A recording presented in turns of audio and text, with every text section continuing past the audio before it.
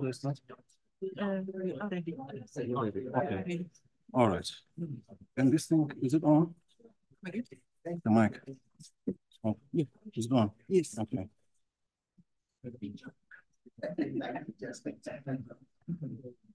Uh, good evening, good evening.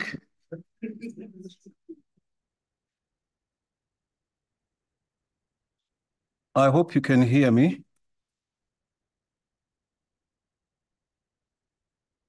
Uh, the Vice Chancellor uh, of the University of Johannesburg, Professor Mpedi, our host, the host with the most.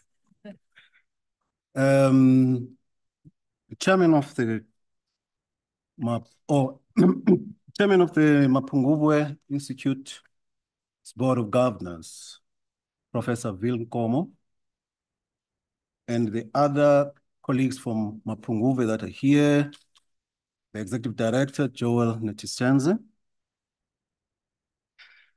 Dr. Claudel Fanek, Professor Shirin Mutala, Dr. Peter Wundler, and those that are joining us online. Ladies and gentlemen, brothers and sisters, my name is Oyama Mabandla. I am the chairman of the Council of Advisors at MISTRA, and I will be your host and program director tonight. Um, I have been asked to ask everyone's phones to be put on silent.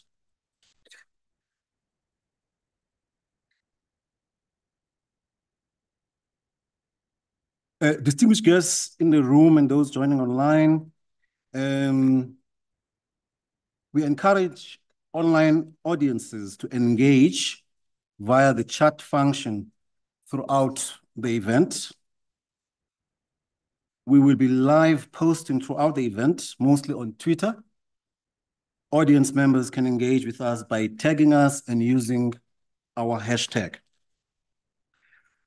Ladies and gentlemen, I'm going to hand over the baton for, you know, uh, for this unfolding program to the VC, Professor Letlhokwa George Mpedi, who will do the proper opening of tonight's event. After which I'll come back to introduce, you know, the keynote uh, uh, speaker, who's flown all the way from Tokyo, Professor Marwala. And after he's done his thing, I will then introduce Dr. Refilwe Lipere and Arthur Goldstuck, who are the respondents.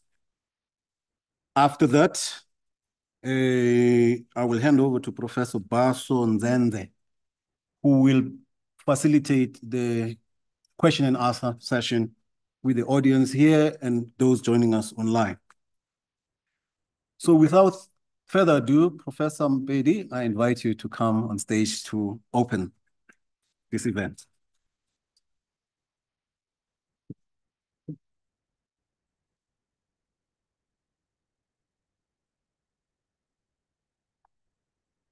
Thank you very much, uh, pro Program uh, Director. For a moment, I was wondering, you know, your name, Oyama. Um, I, I, was a karateka, you know, and I know it's not about me, but since our brothers in Japan, my style was Kyokushin Kaikan, Oyama Karate. Yeah, yeah, I wondered. Uh, we have a lot to talk about. Thank you so much. I know it's not about us and karate that I couldn't help it. Um, Mr. Uh, Joel Netshitenzhe, Executive Director, Mistra. Um, my brother, of course, you're also my brother, Professor Tshilidzi Marwala, United Nations Under Secretary General and Rector of the United Nations University, Professor uh, Vil Nkomo, Chairperson, Mistra Board, Mr. Oyama Mabandla, Chairperson, Mistra Council, senior leaders of the great University of Johannesburg, colleagues, uh, board and council members of MISTRA, our respondents uh, this evening, Dr. Refilwe Lepere, President of the HSS Alumni Association, uh, Mr. Arthur Goldstuck, founder of World Wide Worx, distinguished guests, uh, ladies and gentlemen, uh, good evening. It is a great honor to welcome you to this year's Mapungubwe lecture. This, this year's um, this year holds particular significance. The lecture will be given by the University of Johannesburg's former Vice Chancellor, Professor Tshilidzi Marwala. I joked earlier, I said, do you miss this place? He said, nah. I said, yeah, it's mine now.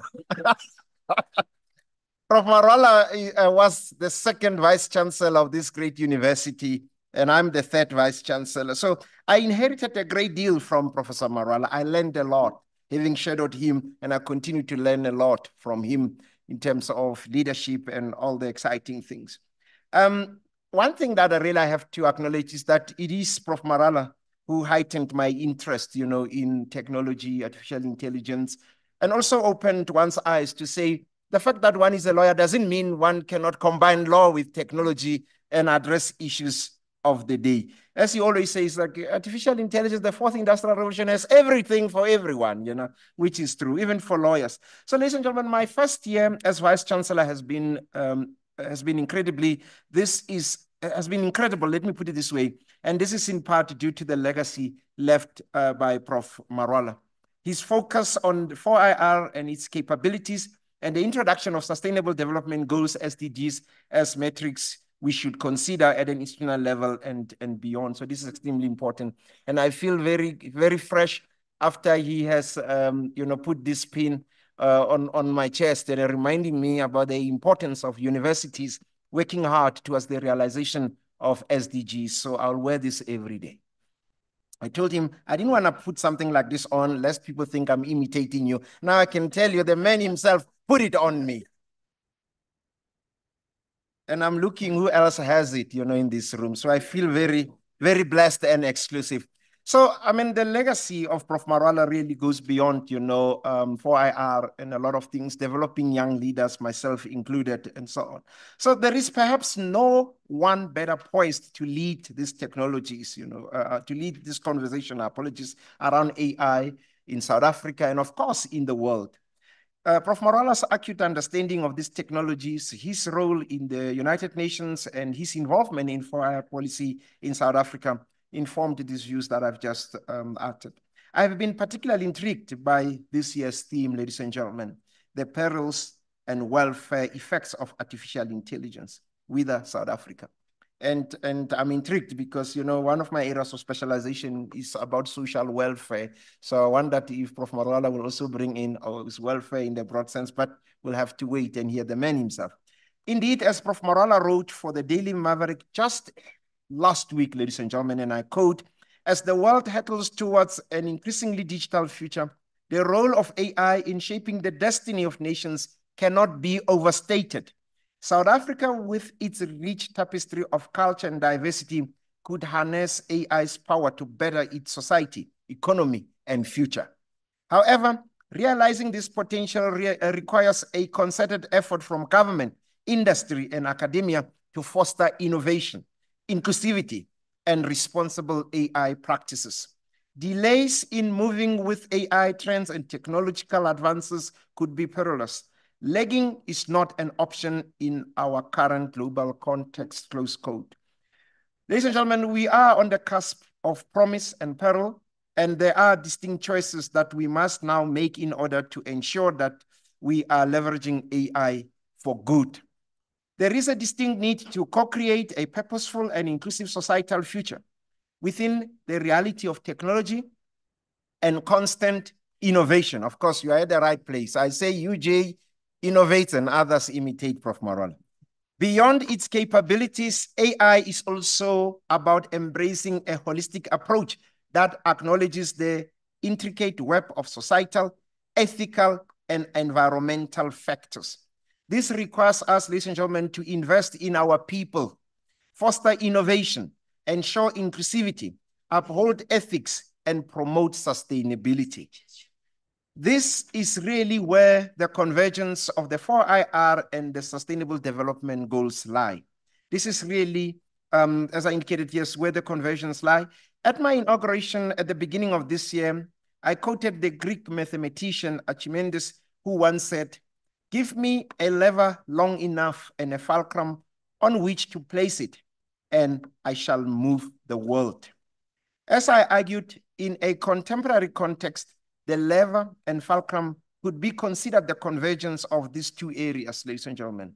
As Prof. Marwala will undoubtedly demonstrate today, AI could very well be the key to South Africa's fortunes, in so much that it sparks growth and narrows our divides.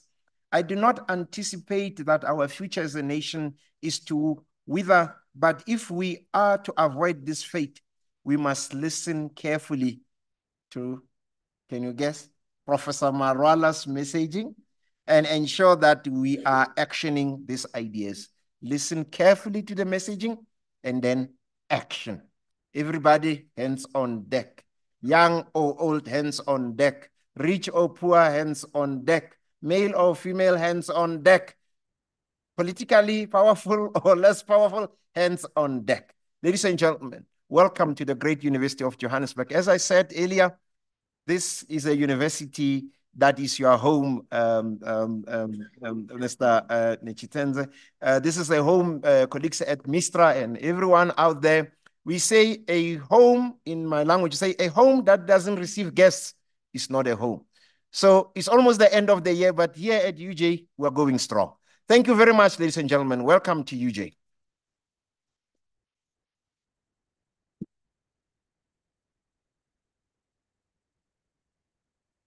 Thanks, Prof, for a, an exuberant and inspiring uh, welcome. and by the way, uh, you know, Professor Marwala, you know, is my friend.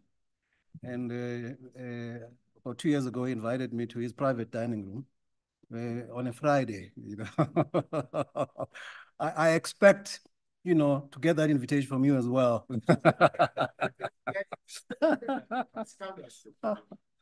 thank you, thank you, sir. Uh, it is my great pleasure and singular honor to introduce our distinguished speaker for the Mapungubwe Annual Lecture 2023, Professor Tshilidzi Marwala. Professor Marwala is the Rector of the United Nations University and Under Secretary General of the United Nations. He travels with diplomatic passport. A position he has held since March this year. He is also a renowned scholar, author, and leader in the field of artificial intelligence and its applications to various domains. Born at Duthuni village in the Limpopo province, he showed great academic potential early on and received scholarships to study abroad, which led to a remarkable academic career. He obtained his Bachelor of Science degree, magna cum laude, in mechanical engineering from Case Western Reserve University, the great state of Ohio. His Master of Mechanical Engineering degree from the University of Pretoria, and his PhD degree from the University of Cambridge in the UK. He also completed management and leadership programs at Columbia and Harvard Business Schools. Before joining the United Nations University, Professor Marwala, as we all know, served as the Vice Chancellor and Principal of the University of Johannesburg. From 2018 to 2023, he was also the Deputy Vice Chancellor for Research and Internationalization between the years 2013 and 2017, and the Executive Dean of the Faculty of Engineering and the Built Environment between the years 2009 to 2013 at the same university. Prior to that, he was a full professor at the University of Witwatersrand from 2003 to 2008 as an associate professor, and then professor of electrical engineering. He also held the Carl and Emily Fuchs Chair of Systems and Control Engineering and the South African Chair of Systems Engineering. From 2000 to 2001, he was a postdoctoral research associate at Imperial College in the UK. Professor Marwala has been a visiting scholar, professor at several prestigious universities in the USA, the UK, China, and South Africa. He has extensive academic policy, management, and international experience, and is a co-holder of five patents. His research has been multidisciplinary, involving the theory and applications of artificial intelligence to engineering, social science, economics, politics, finance, and medicine. He has served on a variety of global and national policy-making bodies and has worked with the United Nations entities such as UNESCO, UNICEF, the World Health Organization, and the World in, um, Intellectual Property Organization, WIPO. Professor Marwala is a fellow of the American Academy of Arts and Sciences, the World Academy of Sciences, the Academy of Science of South Africa, and the African Academy of Sciences. He is also the recipient of 45 awards and honors, including the Order of Mapungubwe, South Africa's highest honor, the Academy of South Africa's Academy of South Africa Science for Society Gold Medal, and the 2021 IT Personality of the Year by the Institute of IT Professionals in South Africa. He has served as the Deputy Chair of the Presidential Commission on the Fourth Industrial Revolution, a body that advises the government on the opportunities and challenges of the digital era, and also a member of the Namibian Fourth Industrial Revolution Task Team. He has extensive record in human capacity development, having supervised 47 masters and 37 PhD graduates to completion. Some of these students have proceeded with their doctoral and postdoctoral doctoral studies at leading universities such as Harvard, Rutgers, Purdue in the United States, Oxford, Cambridge in the UK, British Columbia, and Concordia in Canada. Professor Marwala is the author of more than 20 books, including leadership lessons from books I have read, published in 2021, and Leading in the 21st Century, the call for a new type of African leader, published in the same year, dozens of book chapters, journal papers, and conference papers, and more than 200 magazine articles and newspaper op-eds. His latest book, Closing the Gap, The Fourth Industrial Revolution in Africa, was published in 2020 and is an accessible overview of the Fourth Industrial Revolution and the impact it is set to have on various sectors in South Africa and Africa. Professor Marwala is married to Jabulile Vuisile Manana, and together they have two sons and a daughter. Hlonipho Khathutshelo Marwala, Lwazi Thendo Marwala, and the daughter, Mbali Denga Marwala. During his tenure at the University of Johannesburg, Professor Marwala made a firm commitment in partnering with MISTRA to host the inaugural Mapungubwe annual lecture. Since 2012, the partnership between the organizations is still firm. The aim of MISTRA's annual lectures is to provide intellectual discourse on global issues impacting on South Africa, Africa, and the world, and to stimulate public debate and policy dialogue. The topics of the lectures have ranged from democracy and governance to economic development and transformation, science and technology, and to culture and identity. Tonight, we are very privileged to have Professor Marwala as our speaker. His lecture is titled The Perils and Welfare Effects of Artificial Intelligence, Wither South Africa. He will explore the opportunities and challenges of artificial intelligence for South Africa and Africa, and the role of policy and leadership in harnessing its potential for social and economic development. Please join me in giving him a very South African welcome.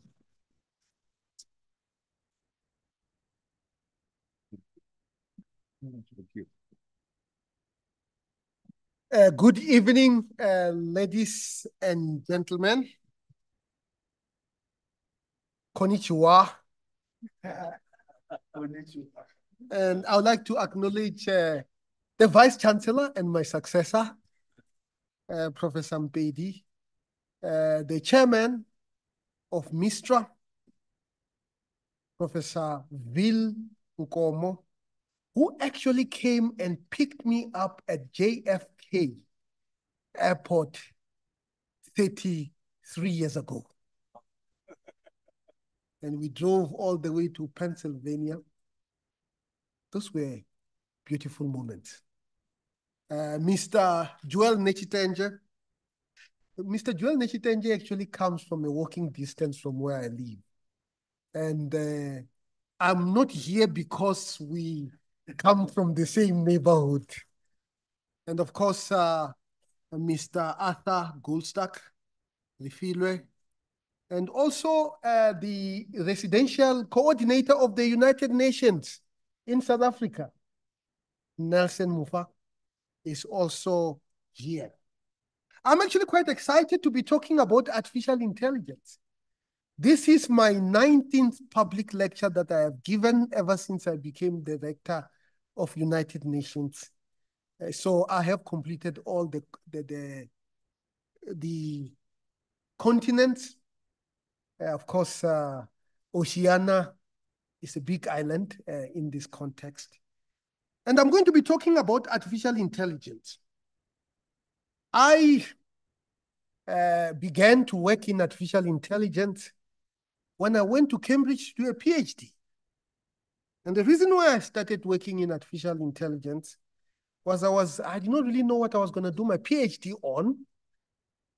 And then I sat next to Nando de Freitas, who is a senior uh, director at uh, Google DeepMind. He's actually a South African.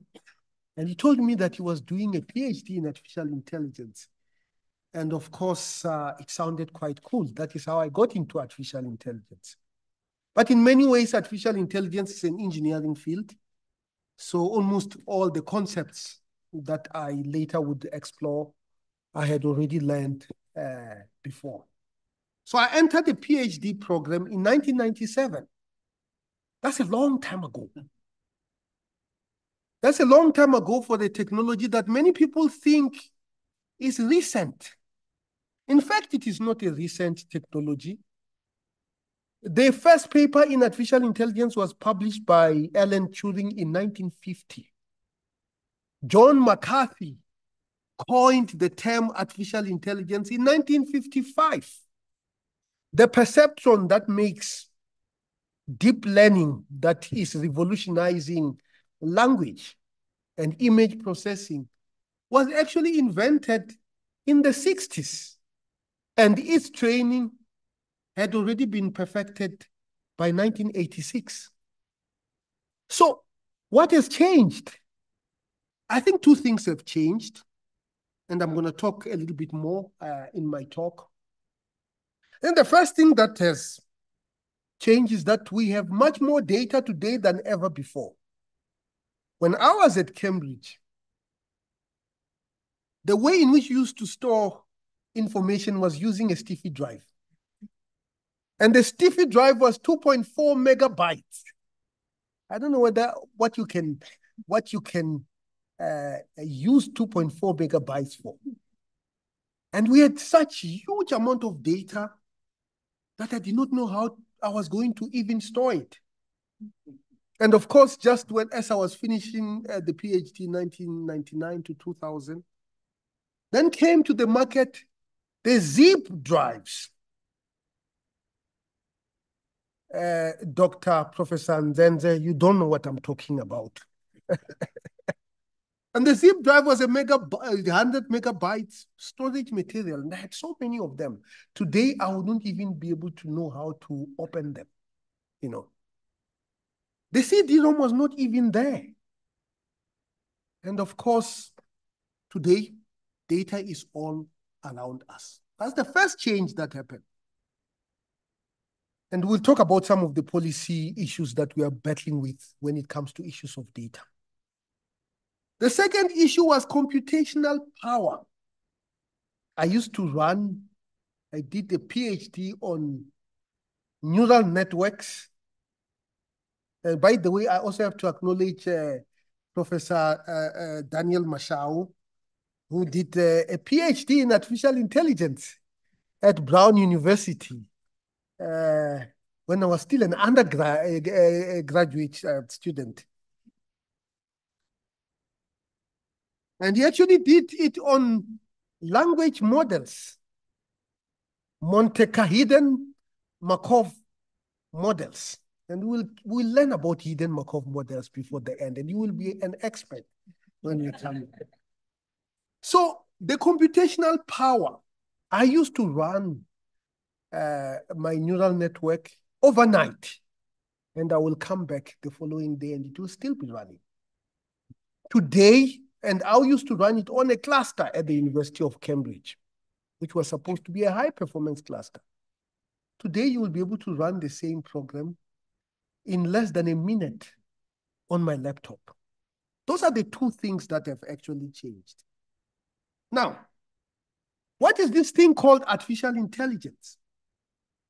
Artificial intelligence is nothing but a technique to make machines think, act, and interact. And it uses mathematics and coding, which is quite important. But now you can do quite a great deal of artificial intelligence without knowing either the mathematics or coding. It has been democratized. And many of the applications that we are seeing now, many of them are not necessarily developed by people who understand what the back propagation algorithm is all about. Alwani, it is not a name of a wine. It is a mathematical algorithm. And there are really three broad types of artificial intelligence. And of course, there is a handbook of machine learning that I wrote that you can go and buy. The first one is prediction machines that actually predicts. You know, you use it to predict what is going to happen. And of course, what they actually do, they rearrange information that already exists. And this is a very important point. And they will not be able to predict something that is not already represented in the data, the so-called black swan. So it can only predict the patterns that already exist in the data. And if you understand the concept of a function, uh, where you input something, what you input is your observation into a model that was trained by information that or, you had uh, gathered in the past. And what you get is really the rearrangement of what already exists. The second one is what is called the clustering machine, where you can use it to categorize a piece of data into categories. And the third one is the generative machine. ChatGPT is an example. A generative adversarial network is another example. So this is what is called a feed-forward neural network. Because it has many layers, it is called deep learning. Can see layer one, layer two, layer three, and then you input something. It might be the weather in the last five days, and the output might be the weather in the next five days. And that is why it is called a prediction machine, because it tells you what is going to happen into the future. And what are the challenge? The challenge is that to be able to do this, you need data. And data is not universally available. And I will uh, illustrate some of the examples that indicates the fact that the world is now being divided into two. The data-rich countries and the data-poor countries. And as the United Nations, we have the responsibility to bridge that data gap. And of course, another example, certainly in the developing South, is the issue of missing data. That the data is always missing, and missing data is a good data because at least you know it's missing and you can estimate. The worst problem is wrong data. that comes as right data and the impact of that on decisions, especially when we use these tools in order to make decisions. Now, this is an example of what is called the convolutional, the convolutional neural networks. And it is used for mainly for image processing. You want to know who the person is. And then, of course, you can see it is a complex structure. The input will be somebody's image. The output might be who the person is. And to train this, you need to have examples.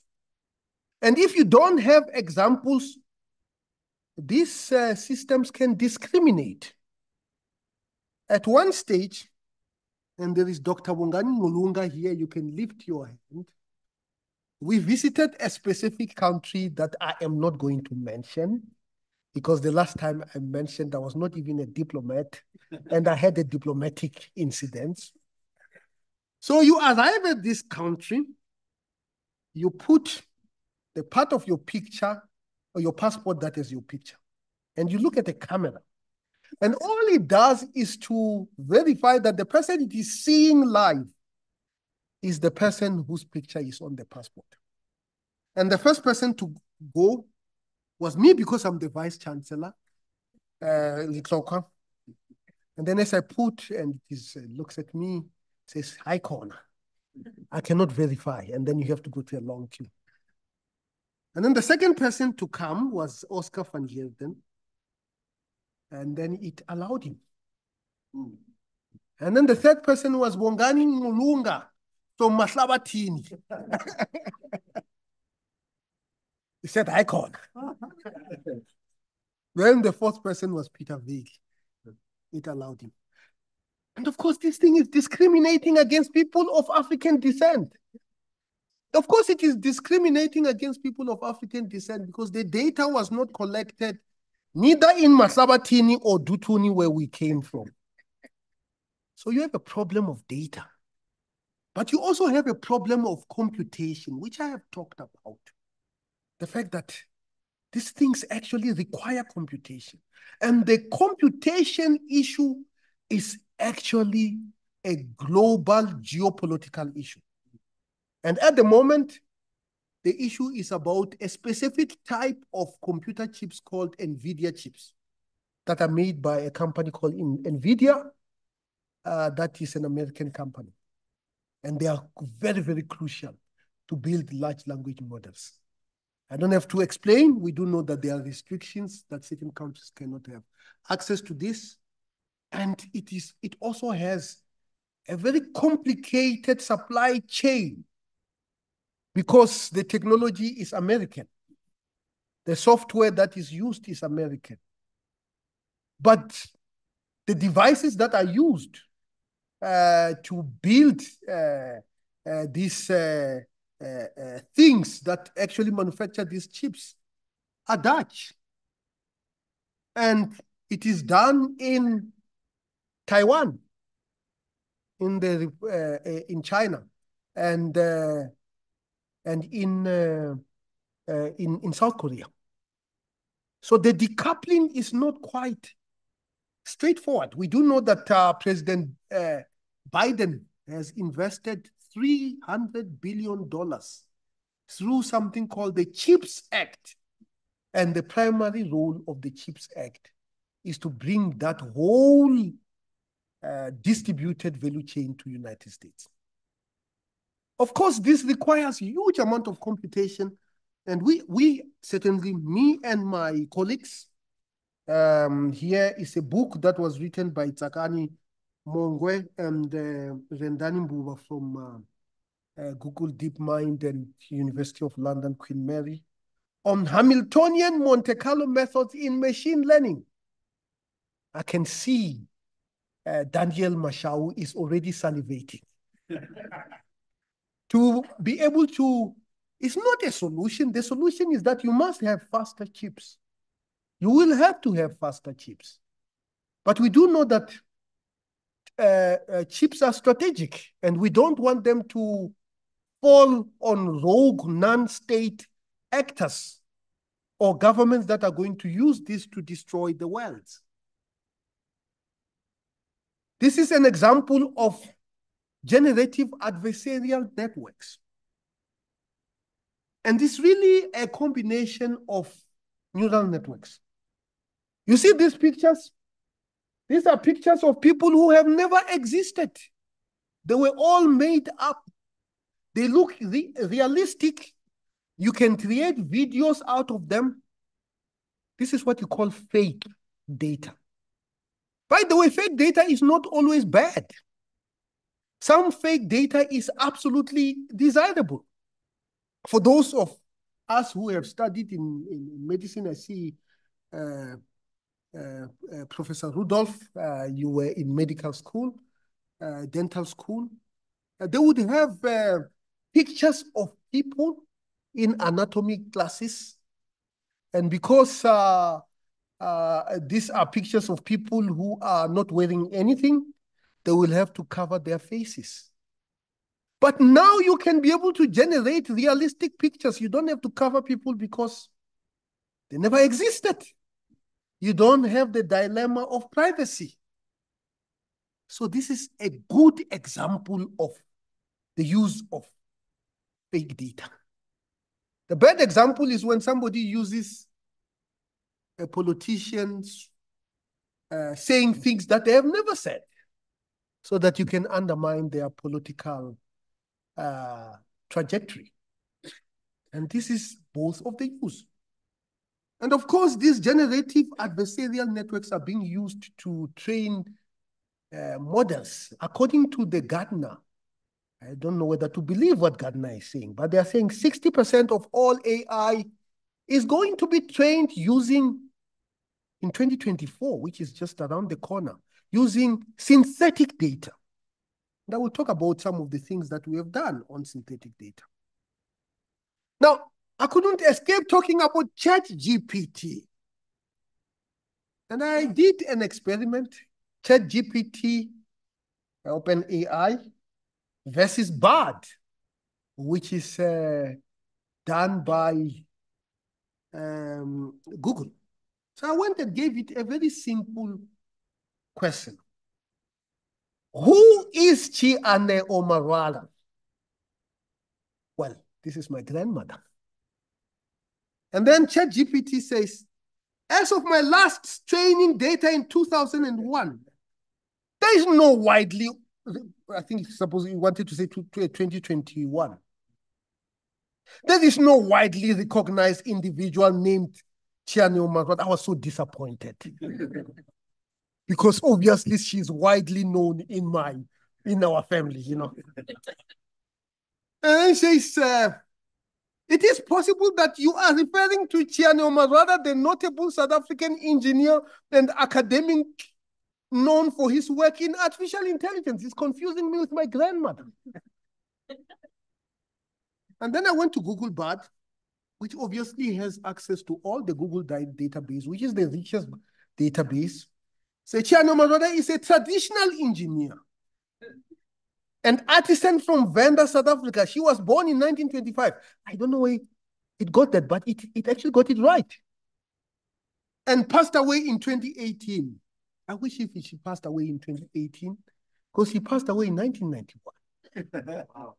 And the reason why it is saying she passed away in 2018 is because in 2018, here at the University of Johannesburg, I launched a Tshianeo Marwala Scholarship. So it is assuming that that scholarship was launched shortly after she died. And this is the confusion of this system. And Tshianeo Marwala is not a complicated name for these systems. Imagine if the name is John Smith. There must be thousands and thousands and thousands of John Smith. How will it be able to discern which John Smith you are talking about? Of course, people are saying that uh, there is now a skill called, uh, a cohort of people called prompt engineers. These are people who are trained to be able to prompt these systems to be able to answer the questions in the right way. I hope uh, Professor Mpedi, you are and uh, uh, Professor Mashao, you are thinking about introducing a qualification in prompt engineering. But there is also a big issue. How do you assess the accuracy of written text? How? Well, you know, uh, uh, wherever you have numbers, you can go and verify whether those numbers are correct. Maybe numbers are easier to verify.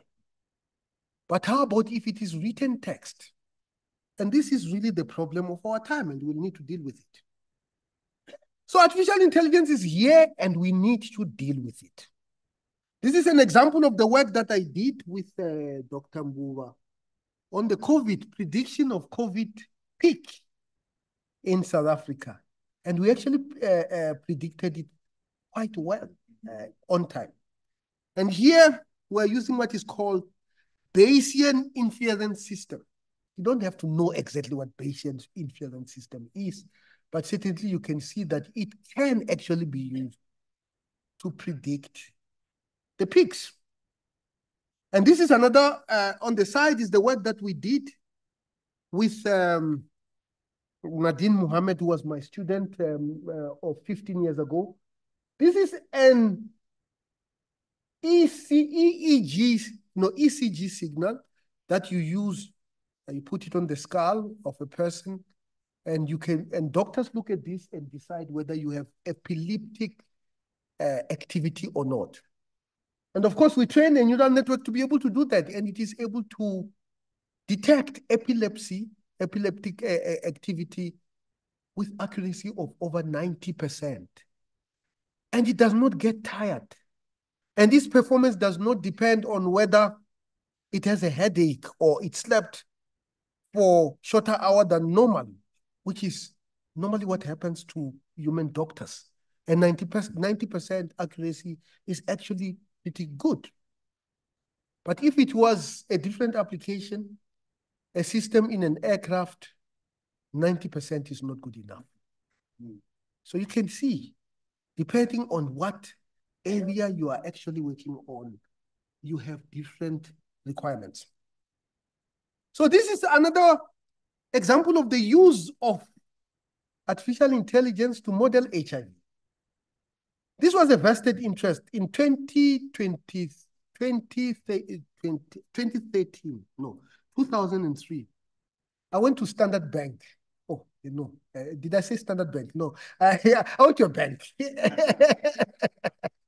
uh, to apply for the loan to buy a home. And they do something called credit scoring. And AI is able to do credit scoring better than a, a human uh, person. And then they came back and say, you qualify to become a, a, a, a homeowner as I was excited, they said, no, no, no, but you need to get a life insurance to cover your debt in case you do not live enough, long enough to be able to repay the loan. I said, give me the form.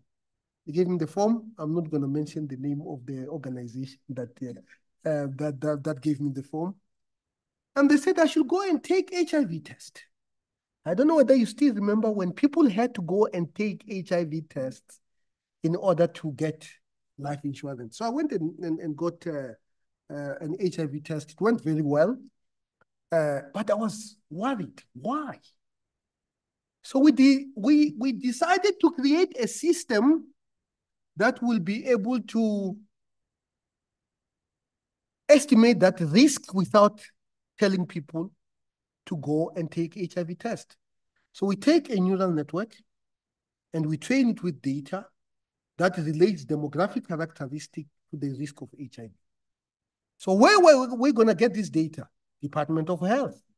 They have antenatal database, hundreds of thousands of database. They take almost every measure. You know, how old is this person who has presented themselves to hospital? Uh, how many pregnancy, they call it gravidity, gravidity. Uh, how many children are still alive, um, called parity. I might be mixing the two uh, highest educational level and so on and so forth. And then they, as a matter of course, they take an HIV test. So you could train these models. And you could train these models and they could actually be able to make the predictions. But the problem was that there were lots of missing information, which we ended up studying, uh, missing information. In fact, uh, uh, the current CEO of the National Research Foundation was the PhD student, my PhD student, who actually worked on, on, on this uh, particular topic. And then I rushed to the insurance company. I said, I have a solution for you. And they said, wow, it is very accurate. Said, okay, yeah. But they say, but it is biased. I said, what do you mean? They say you're using antenatal database, which is only female database. How will we use your system if a male presents themselves looking for a loan? Of course, uh, the only way we could do is to ask uh, uh, uh, uh people to talk about their spouses, you know, in order to deal with that uh, data bias. So the problem of bias is actually quite an important one. The problem of missing data is also an important one. And this is another example of the work that I did with, um, uh, we actually have a US patent with uh, Megan Russell, who was our PhD student, David Rubin, Brian Wigdorowitz, and me. So this is a system when somebody loses their voice box, normally because of cancer, they remove the voice box, but they can actually still move their tongue. So what we were doing was to design this system so that uh, based on the movement of the tongue, we can be able to know what they are saying.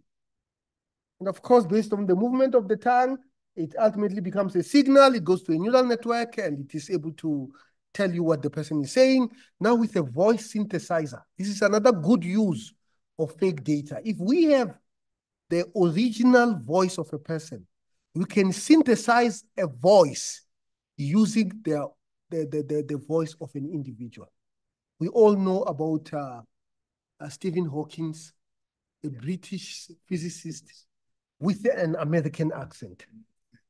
Now, with this technology, you and if you had his original voice, you can be able to create it in the original voice. Now, I'm going to talk about the parent. This is a bridge, a temporary bridge in Grayston Drive. It collapsed and killed three people. Still remember this thing? And now, can we be able to use artificial intelligence to have predicted this before it happened and saved life? And of course, when I talk about this, I'm reminded of my grandmother, who was really my first engineering teacher. She used to make clay pots. And then she would go to the river. Uh, young people don't know that clay is found in the river. She would go and select the best clay. When we were studying engineering, they would call that material selection. There are softwares to do that. My grandmother will do that without a software. And then after she, that, she'll come back and she'll make this clay pot. I'm sure, uh, uh, Professor Mashao, if you ask your students to make that clay pot, they will be asking for the software called computer-aided design. She could do that without computer-aided design, and she'll put it in the sun and allow it to cool uh, after, it, it, it, and, and allow it to, to dry. But of course, it is not strong enough to be able to cook. Then she will go and put it in the fire mm. and allow it to cool very slowly. That cooling process is called annealing. There is an equation called the Boltzmann equation that describes how that cooling happens. She never knew who Boltzmann was, let alone his equation. But she knew the concept. She knew the concept that if you cool it too fast, it's going to crack. And after that, she will knock each pot listen to it. And she will say, if it rings for a long time, it's a good pot. When I was studying mechanical engineering, they will say, if it rings for a long time, it's a lightly damped structure. Hmm. She never knew, she would never have known what that meant. And if it rings for a short time, it's not a good pot because it is damped, because maybe there is still water trapped, there might even be holes inside, and so on and so forth. Perfect system. But as time goes on, we realized that she was throwing away good pots. Was throwing away good pots because as she was aging, her hearing was deteriorating. So I went to Cambridge to do a PhD on using artificial intelligence and vibration data to assess the integrity of structures. In fact, my PhD topic was uh, thesis is fault identification using neural networks and vibration data. And of course, once you have that piece of software, certainly it's much more sensitive than a human uh, ear, and it, its uh, efficiency does not deteriorate because it is getting old. And we could have used a system like this uh, to monitor structures. Not, you know, in a country like Japan, where you have many, many uh, earthquakes, they monitor absolutely everything. Uh, I did not fly from Japan. I flew from Dubai, but uh, from Dubai, I was in Germany, and they were telling us that they are implementing this in Germany because they have to uh, replace or fix almost 80% of their bridges in the next uh, 10 years. And of course, these condition monitoring systems must be part of our, of our laws. Now, I will come to the issue of economics. How did I get into economics? One of the big dilemma of engineering profession in South Africa is that people go and study engineering to go and work in a bank. And when I was at Wits University, students will say, but uh, can't we do a project where we're going to be able to model uh, the bank, uh, the some financial instruments? So we worked on options and derivatives. Uh, we worked on financial forecasting, uh, customer churn forecasting, credit scoring, demand and supply information, and so on and so forth. But the work that I'm going to highlight is the work that I did with my PhD student who is now at uh, Standard & Poor. He actually worked for Mistra, uh, Evan Hurwitz. I don't know whether you still remember Evan Hurwitz. And Evan Hurwitz was looking at what does artificial intelligence do to economic theory? I mean, let's just look at the concept of demand and supply. And we have done this study. We go to uh, Amazon, I am in Johannesburg, my colleague in, in uh, Brazil, and we buy the same book at the same time. Maybe not exactly the same time, but more or less the same time. And we get two different prices. Why? Well, it is quite simple for those of you who have studied economics. Pricing is derived from what is called the equilibrium point of demand and supply. And when you go to Pick and Pay, it is aggregate demand and aggregate supply. And what it is actually doing, uh, Amazon, is that instead of using aggregate demand, it is using your own demand because it has observed your buying patterns. Of course, big revelation. I told one of my, uh, so uh, Mr. Surajpal, I told uh, him, I say, hey, you know, this is fantastic thing. We have discovered, uh, see, this system is giving us individualized demand. This is new. I no, this is not new.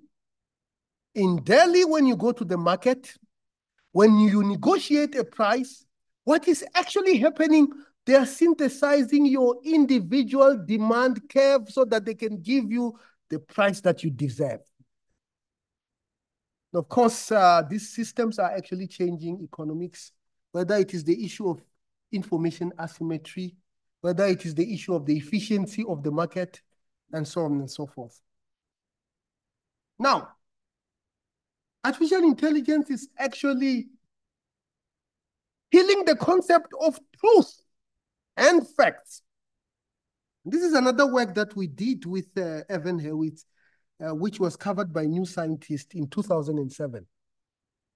So we built this software called Aiden that learned how to play poker. And we just allow it to play so many, many times.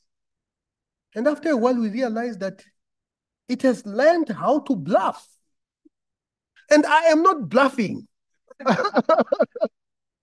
Now, if it can learn how to bluff and we have systems that are evolving, what does it mean? I do, we don't know what it meant. We were not investigating that.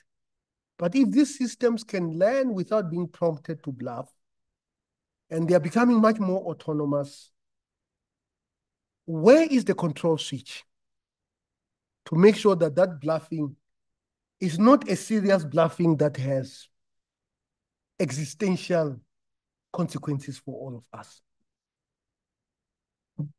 And then the global peace, the issue of peace and security. I like this work. Artificial intelligence can be used to predict interstate conflict. And of course, now you can actually be able to go to social media and mine the data and be able to come up with indicators of the state of peacefulness in a region for all sorts of reasons, but I think importantly to be able to prevent conflict. We wrote a book and which was translated into Mandarin. I was very interested to know how they are going to pronounce my name in Mandarin, write my name in Mandarin. It turns out that Ma is a horse. Wa, but they don't say Wa, they say Wa, is a gutter of a roof. La is to pull. So in many ways, I am the puller of horses from the gutter of roofs. I don't know what that means. now, I have to now uh, come to the conclusions. Artificial intelligence is really a tale of two cities. And for those of you who have read the book Charles Dickens, it was the age of wisdom, but it was also the age of despair. And whether it becomes the age of wisdom depends entirely on what we do. It depends on what we do as individuals, as organizations, as countries, and so on and so forth. And as the United Nations, we are worried about its impact on privacy and security uh, and security uh, and surveillance. We are worried about its consequences in terms of bias and discrimination. We are worried about the fact that it is actually not transparent. It can give you a good idea why you shouldn't give an individual a loan, but it will not be able to tell you why. And of course, I'm reminded of this. And I said this when I was uh, uh, uh, reflecting on the book, uh, Mosquito to Baobab, that was written by the Vice Chancellor of uh, uh, the University of Johannesburg, where he was drawing leadership lessons from African sayings. And I actually couldn't help to realize that artificial intelligence gives us knowledge. It does not give us wisdom. So that step of taking knowledge to wisdom is still a step that we need to find out how it is going to be done. Is it going to be done by technology? Uh, what is the role of human beings? What is the role of technology? And so on and so forth. It turns out that if the algorithm is explainable, it is not accurate. If it is not explainable, it is more accurate. The issue of job security, the issue of accountability when, uh, when autonomous systems take decisions that are illegal, who is responsible? Uh, and what regulations do we need to put into the picture? Now I'll come to South Africa. I was the deputy chair of the Fourth Industrial Revolution Commission. And we proposed these recommendations. Uh, they were spot on. The first one, educate South Africa on AI. And I have to commend University of Johannesburg for being the first university to introduce the compulsory AI course for everybody. 2018. and they get a separate certificate. The second one established the National AI Institute. I don't know how it is working, but it was established at the University of Johannesburg and TUT. We launched it last year. Use AI to re-industrialize South Africa. Part of the reason why South Africa is de-industrialized is because we have not invested in the technology of production. And those who have uh, uh invested into technology of production are much more productive and efficient and they are able, to produce goods at a lower price. And South African consumers is not a, in fact, no consumer anywhere is patriotic. They don't buy things because they were made in South Africa. They buy things because of a good price and a good quality. Develop a data institute because data is, it is really about data. Incentivize the adoption of AI, build AI infrastructure, the infrastructure of computing. The high performance computing uh, facility at the CSR is a good example, and we have used it quite extensively. Educate lawmakers on AI. Currently, 67 countries have developed AI strategies. South Africa does not have an AI strategy. Just a few weeks back, the government of the United Kingdom uh, had an AI summit that was convened by the Prime Minister. And it came up with a recommendation that, uh, or they announced that they are going to use the IPCC model to regulate this technology. Uh, the President of United States, Joe Biden, issued an executive order on AI on the 30th of October. The government of China has issued guidelines on a, on a regulatory framework on AI. I think South Africa must come, uh, must also uh, start thinking about this and also uh, develop implementation capacity. Now, what are we doing as the United Nations? Of course, the United Nations is not a perfect organization, but it's a very important organization. And in many ways, it moves by consensus. For example, the World Health Organization has developed AI guidelines in medicine. I was, are you telling me that I have run short of time? no, no, no, no. yeah, because I'm, I'm, I'm about to finish, by the way. Um, uh, the UNESCO Ethics of AI, uh, the ITU AI for Good, United Nations has the Scientific Advisory Board, which I am a member of. We just launched the high-level advisory board on AI. The Secretary General uh, issued it in, um, in, in, in, a press briefing where I was also uh, present and I spoke. Uh, there is even a question of whether we should have an AI agency.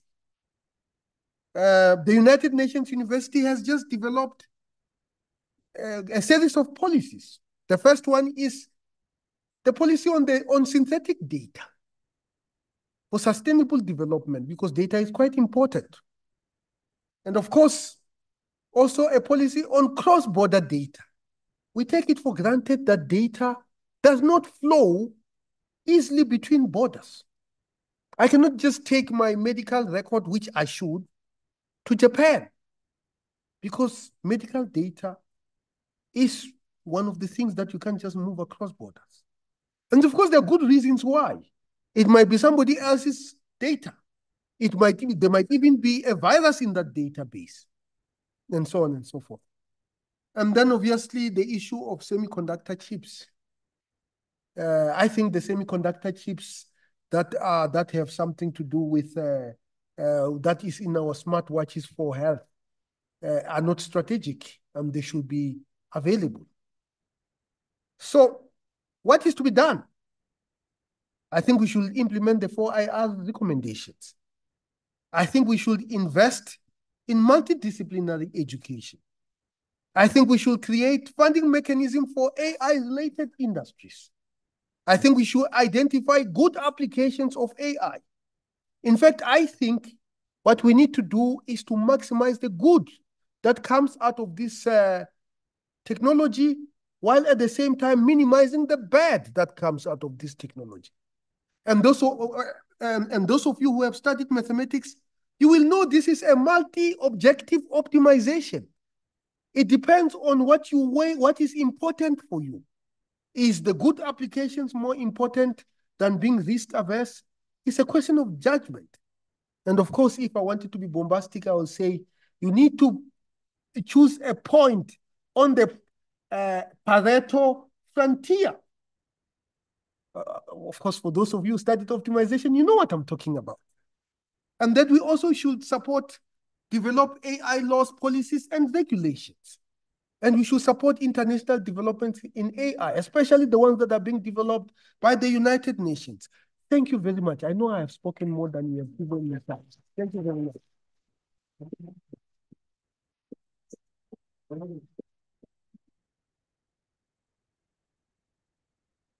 Uh, colleagues, another round of applause. Uh, for what was a torrentially eloquent, rigorous, funny, and accessible address. Now, I don't know about you. I, speaking for myself, my intellect has gone up a tad, you know, after this encounter, you know. That's not artificial. You know, I think if I had to take an IQ test, you'd see, you know, a bump. And, you know, AI is the preoccupation of our age. I think, you know, um, this is something that we have to know. This is something that we have to engage with. And Professor Marwala and UJ, I think are doing a great job, you know, in that, demystifying it, you know, making it accessible as a tool for advancement as a species. Uh, of course, taking into account its perils, because um, it's a it's a it's a new technology, and we do know that it's been also used in a malevolent way, as Professor Marwala said. Someone can just, you know, start a, a campaign, political campaign, a, a, masquerading as someone else to damage that person.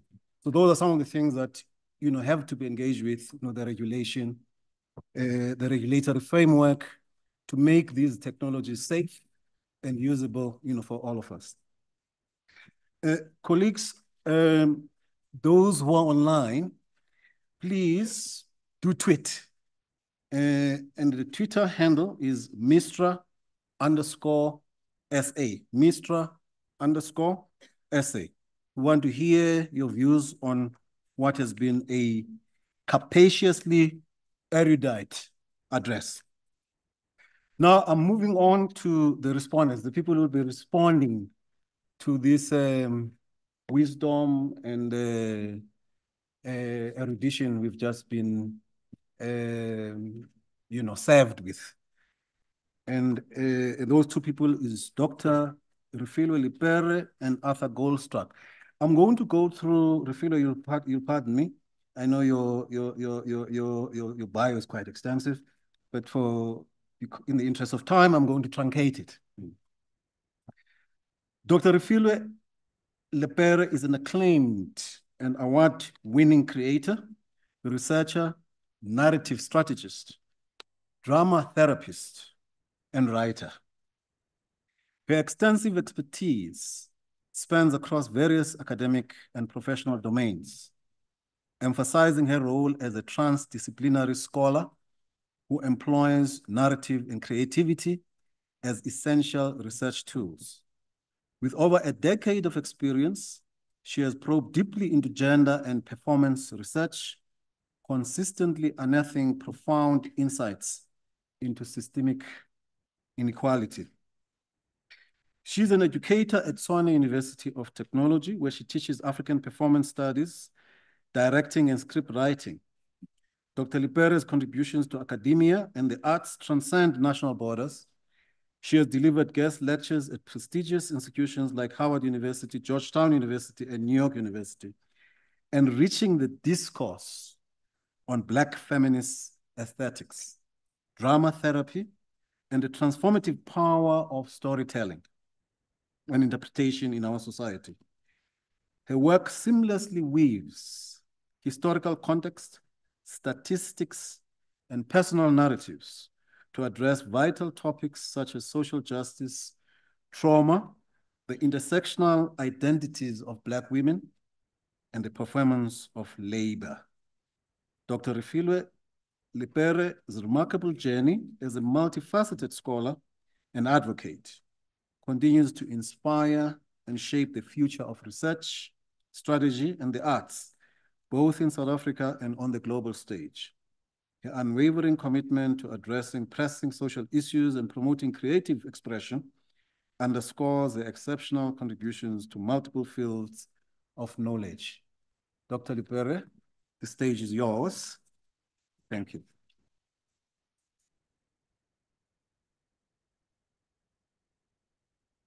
Wow. Um, thank you so much. Um, thank you for the invitation, Prof. Um, truly inspired of your presentation, your articles, your books, your works. Really excited.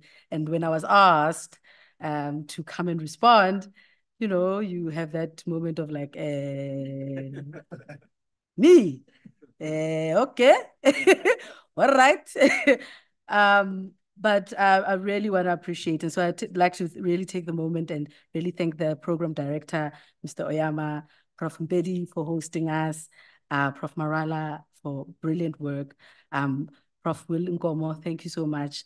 The Mr. Joel Netshitenzhe, thank you a lot. The board, the council of MISTRA, the virtuistic staff of MISTRA that made this all possible, um, and the team that is here for creating this space for all of us to really sit and really dream and think together. And what Prof has offered us is not only just a moment of education, because I also was excited about the amount of knowledge that one can get from Prof, but also to really imagine what protocols can be observed in these moments, but also what avatars that AI offers us. So I'm a performer, and I think a lot around role and role method and the idea of setting stages. So in the idea of a dramaturgy of personhood and humanity, I'm thinking here around, in dramaturgy, we think of a stage, you set a stage, you think of the role that is there, the scripting that happens, and the possibility of costuming it. And I, I wanted to, to really respond back to Prof's work and the piece that he's um, really offered us today in that way, to think about this as he has offered us a stage and that the world is vast, the world is big, the world of 4IR is so much that it is allowing us to imagine what this revolutionary world could be. So, um, and part of what also Prof is doing is simply using the idea of radicalizing, grasping at the root of something and saying, how do we radicalize an activity, a pro and thing that we are all engaged in right now. I mean, a lot of times as intellectuals, uh, we think, actually, I'm not, I'm not part of what the masses are doing. But a lot of us have our our our knowledges, our being. If you are on Twitter, if you have Netflix, if you have any of these things, you are engaging in the work.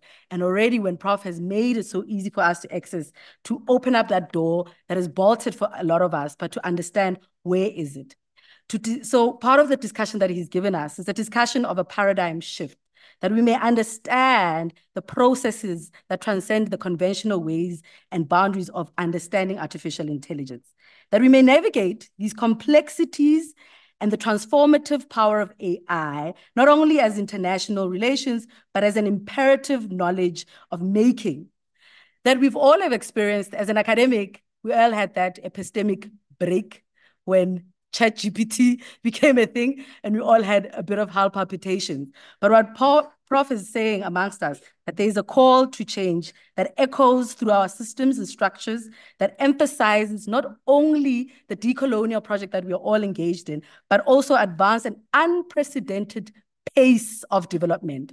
We are asked to go into, uh, you know, those who drive, you are asked to go into gear six.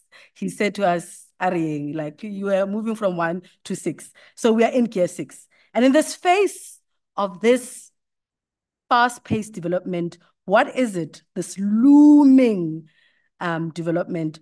What about economic disparity? He's asking us. What about the looming climate crisis? He's asking us.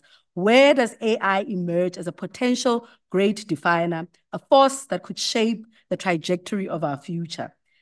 So, Prof has given us the benefits of AI are undeniable. Our focus, though, has to extend beyond its advantages and its ethical considerations. So here I move from stage to role. What is the avatar that we are given around AI?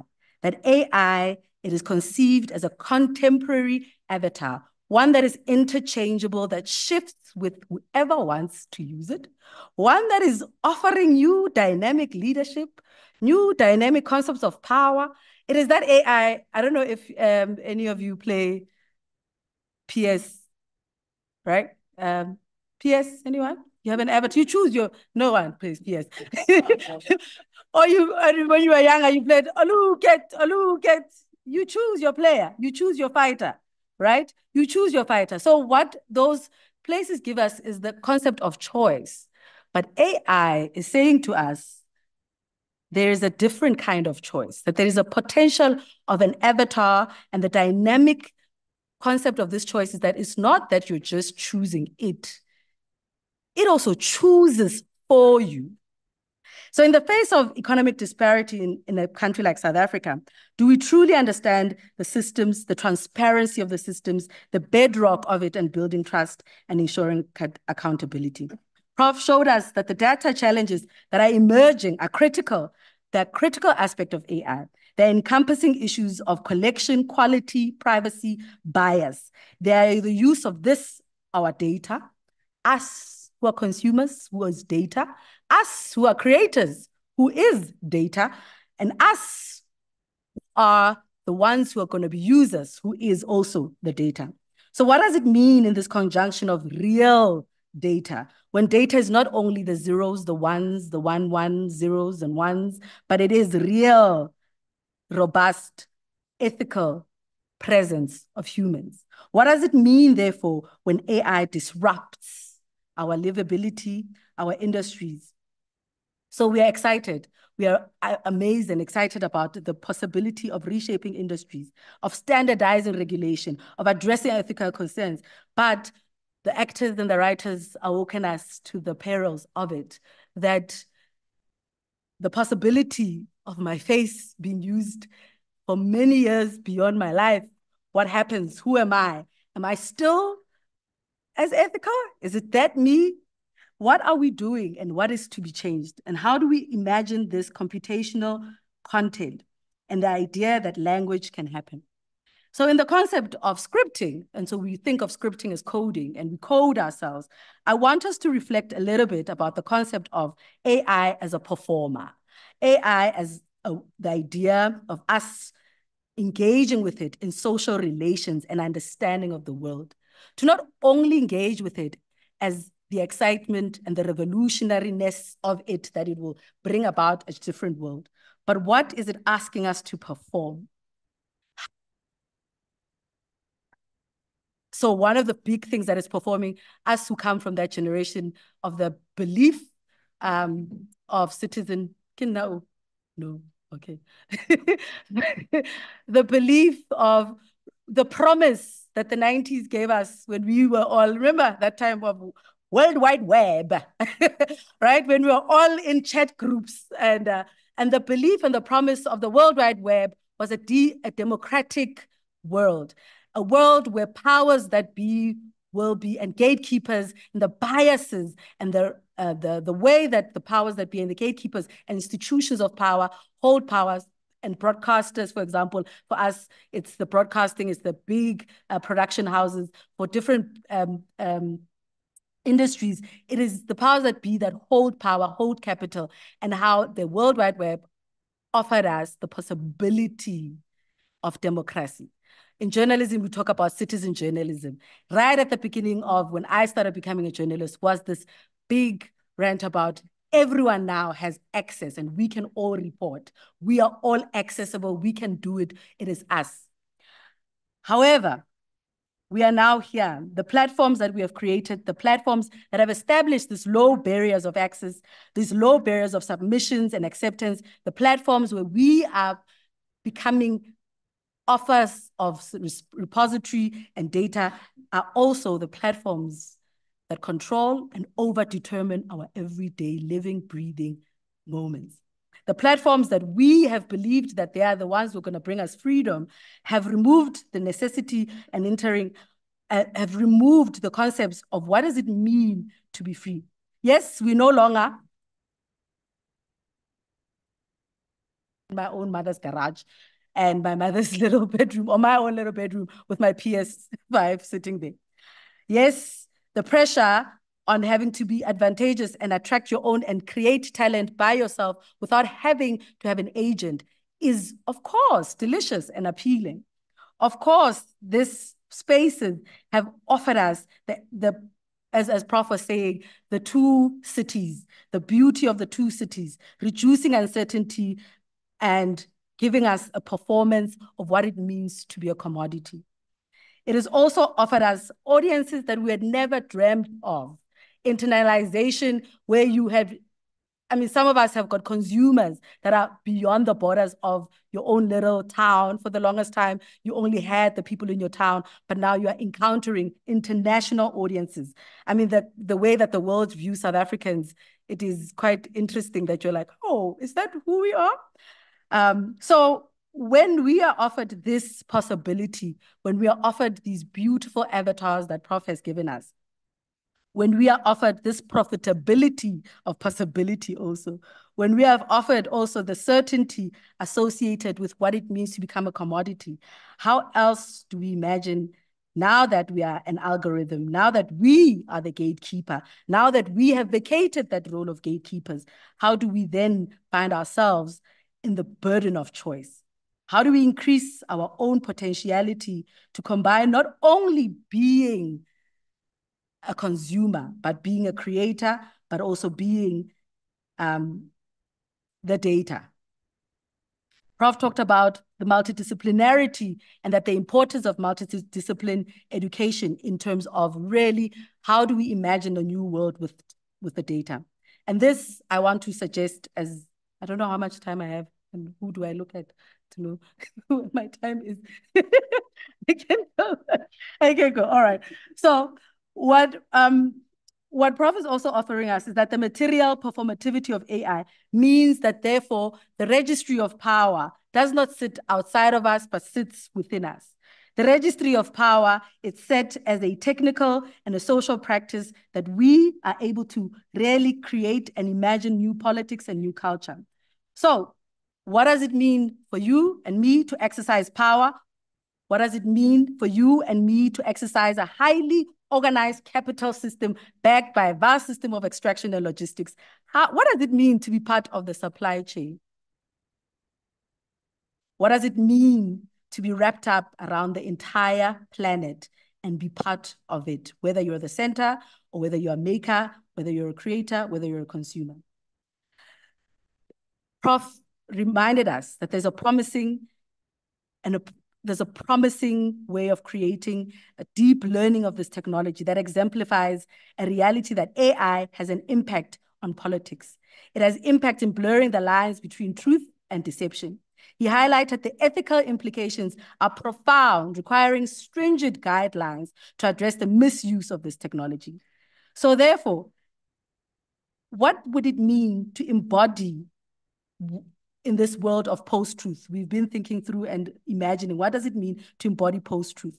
What does it mean to engage with the idea of infrastructure, logistics, histories, classifications, human labor, and what the AI system is also asking us, what does it mean to, be human? AI systems are not autonomous. They are not autonomous. They are neither they're not autonomous. And I'm saying this to say they're not autonomous as they're able to, they're not autonomous or rational or able to discern. But with us in our training and us training them and us giving them our lives, our data, we are then allowing them to become rational, discerning, extensive in their intensity, so The challenges of truth take center stage. The AI learns to deceive us. It manipulates information. How do we become vigilant? How do we find the changing of conflict? How do we harness it for our own military applications? But more importantly, I think, Prof, I want to go back to the SDG, the Sustainable uh, Development Goals. What are the pursuit of those human rights that AI can offer us in both in the promise and its peril? So there are these, na the nature of training it with large data. What is the implications for the environment? What are the implications for us in sustaining the world that we're living in? What is the implications of what it means to be human and the promise of it being that our lives, our being, our trusts, and our desires are being shaped by it while producing more capital and exploitation. For example, what does it bring if we are thinking about what it means to be human in the next 10 years, if we are bent on maintaining and growing a status quo that is about capital and profit?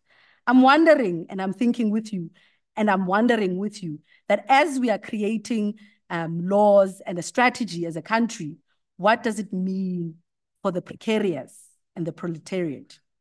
What is this narrative that we are creating as we move forward by revolutionizing and, and revolutionizing our conditions of work? What does it mean to be both, as, I, as I've been saying the whole night, to be a data, to be a worker, but be data, to be a, a human, but be data? And in closing, I want to challenge all of us that as we are excited with the revolutionary instrument of this production, as we are fomenting ourselves with security and the possibilities of freedom, as we are thinking about this constant shake-up and that the world could be otherwise, and the avatar and the role and the stage that we are setting forth for the world, as we are also delayed just a little bit. And I think delayed is not, you know, I'm from church. I'm one of those people, but delay is not denial. So perhaps we are delayed, but perhaps the delay is giving us a moment of pause, a moment of us to live in the precarious and to think about with the precarity of the part-time gig economy, to think with and for ourselves as we are thinking about these ideas, these data hungry, data generating, data anxious, how do we find our own revolution within that? How do we fuel this consumption, but at the same time, find that we are critically engaging? How do we not further and further ourselves into anxiety, but also create a global growing expansion of not only a people, but also a freedom that means all workers, all people are seen as one. Thank you so much. And I really appreciate the opportunity, the moment to be able to respond. Um, and I'm hoping for further conversations around this. Thank you so much. Dr. Refilwe Lipere, another round of applause, please, for me. I think, I think Refilwe and in fact, all of the speakers have shown that ideation and intellection doesn't have to be boring. There's been a dynamism, you know, abroad, you know, tonight from the VC to Prof. Marwala to, to Refilwe. It's been quite a dynamic, you know, evening, and uh, thank you for that. Now I'm going to move to the last of the respondents, uh, Arthur Goldstuck. And Arthur Goldstuck is the founder of World Wide Worx, South Africa's leading independent technology market research organization, and an award-winning writer, author, analyst, and technology commentator. In 2013, he was presented with a Distinguished Service in ICT Award by the Institute of IT Professionals of South Africa. In 2021, was elected to the Southern African Speakers Hall of Fame. And in 2023, to the Southern African Educators Hall of Fame for his work in training and mentorship. He leads World Wide Worx research into all aspects of the impact of digital, digital technology on business and consumers. Among other, its Cloud in Africa project won the business to business marketing category of the 2019 SABRE Awards Africa. In 2022, the Global Insights Community, ESOMAR, named him to the Insights 250 honor roll of the world's top innovators in market research, enterprise intelligence, and data-driven marketing. His latest book, The, Hitchers, the Hitchhiker's Guide to AI, was released five days ago. Thank you. Arthur? I'm right to this.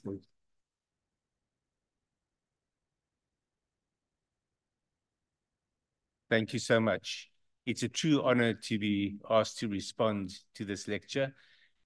Prof. Marwala and I have been trying to work together or collaborate for quite a few years since the release of his uh, current book. And I'm very honored to see both of our books on sale in the entrance hall. That's a shameless plug for buying uh, the book. but uh, before I start, I would like to present uh, Professor Marwala with a copy of The Hitchhiker's Guide to AI.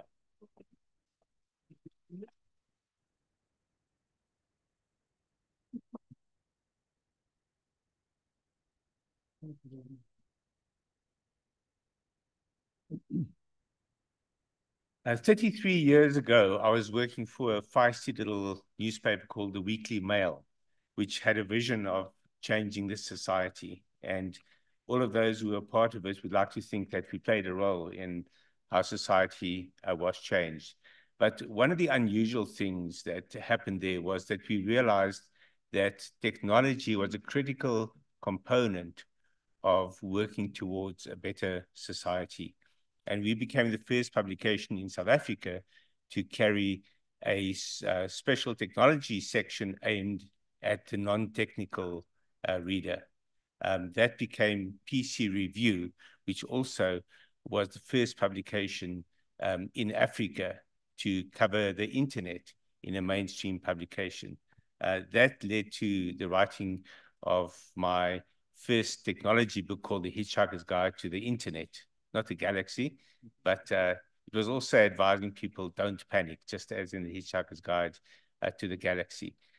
But the point there was that by using um, the technology available to us and by disseminating information using technology, and with the Weekly Mail being the first uh, publication in Africa to have an email newsletter, uh, uh, for example, we were ready to embrace the internet when it arrived and embrace it fully to an extent that took many other publications uh, many years. And in the same way, uh, Prof. Marwala's work on AI has put us in a position to be ready for the sudden explosion of generative AI in the past year. But the Prof has been working on it for decades. It's um, nothing new. In fact, to give you a sense of how not new it is, um, I'd like to quote from a book written a few years ago, which described an engine for improving speculative knowledge by practical and mechanical operations.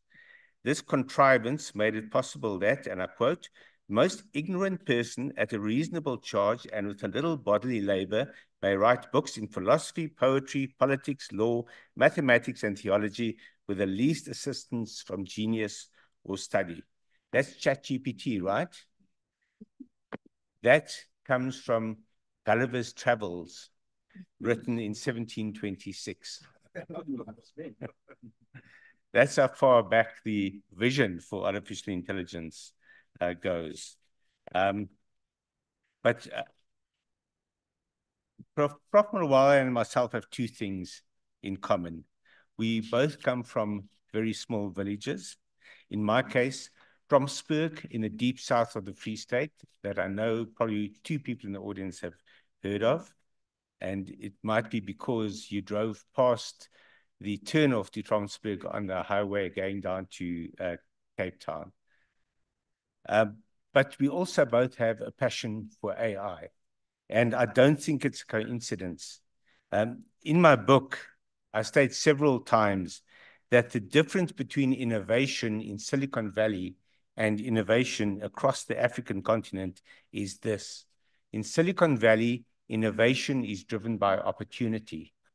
Across Africa, innovation is driven by need. To put it in another way, in Silicon Valley, it's about what is possible. In Africa, it's about what is necessary.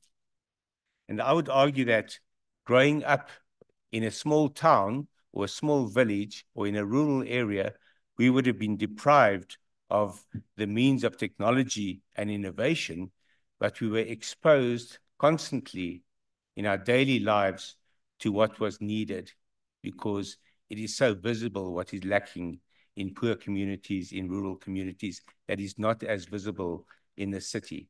And that gives one a, a thirst for the ability to address uh, those needs. And we've never seen a situation uh, or we've never seen a solution that is so geared to meeting the needs of modern society as artificial intelligence. Within that need, however, we can also observe the true impact of the digital divide. We know about the education crisis um, in this country. There are fairly alarming stats that show that less than 10% of uh, South Africans of school-going age uh, reach uh, a tertiary or TVET uh, institution. It's not as bad as, as it looks. It's worse. It's much worse because of that seven or eight percent who do go past the school level, most of them are still going into education or training that is gearing them to the current needs of society and not the future needs of society. They're not being prepared for a digital uh, future. They're not being prepared for a future where AI is going to, in a, uh, to a very large extent, dictate how their work is going to be performed.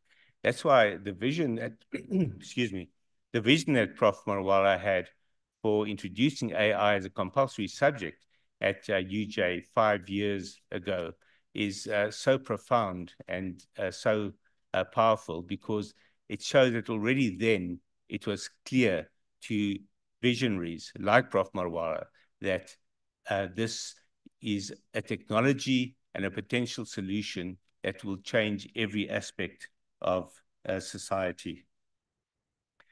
If you think about the doctor today, for example, I won't name names because um, I'm scared of what you might do in my next examination, but certain GPs, for example, resist technology tooth and nail. The very idea of using AI to help them with a diagnosis or prognosis is anathema uh, to them. Rather than seeing it as their partner, as their co-worker or collaborator, which is what AI is going to be, whether we like it uh, or not, but we will actually like it when every one of us has an AI collaborator at our side.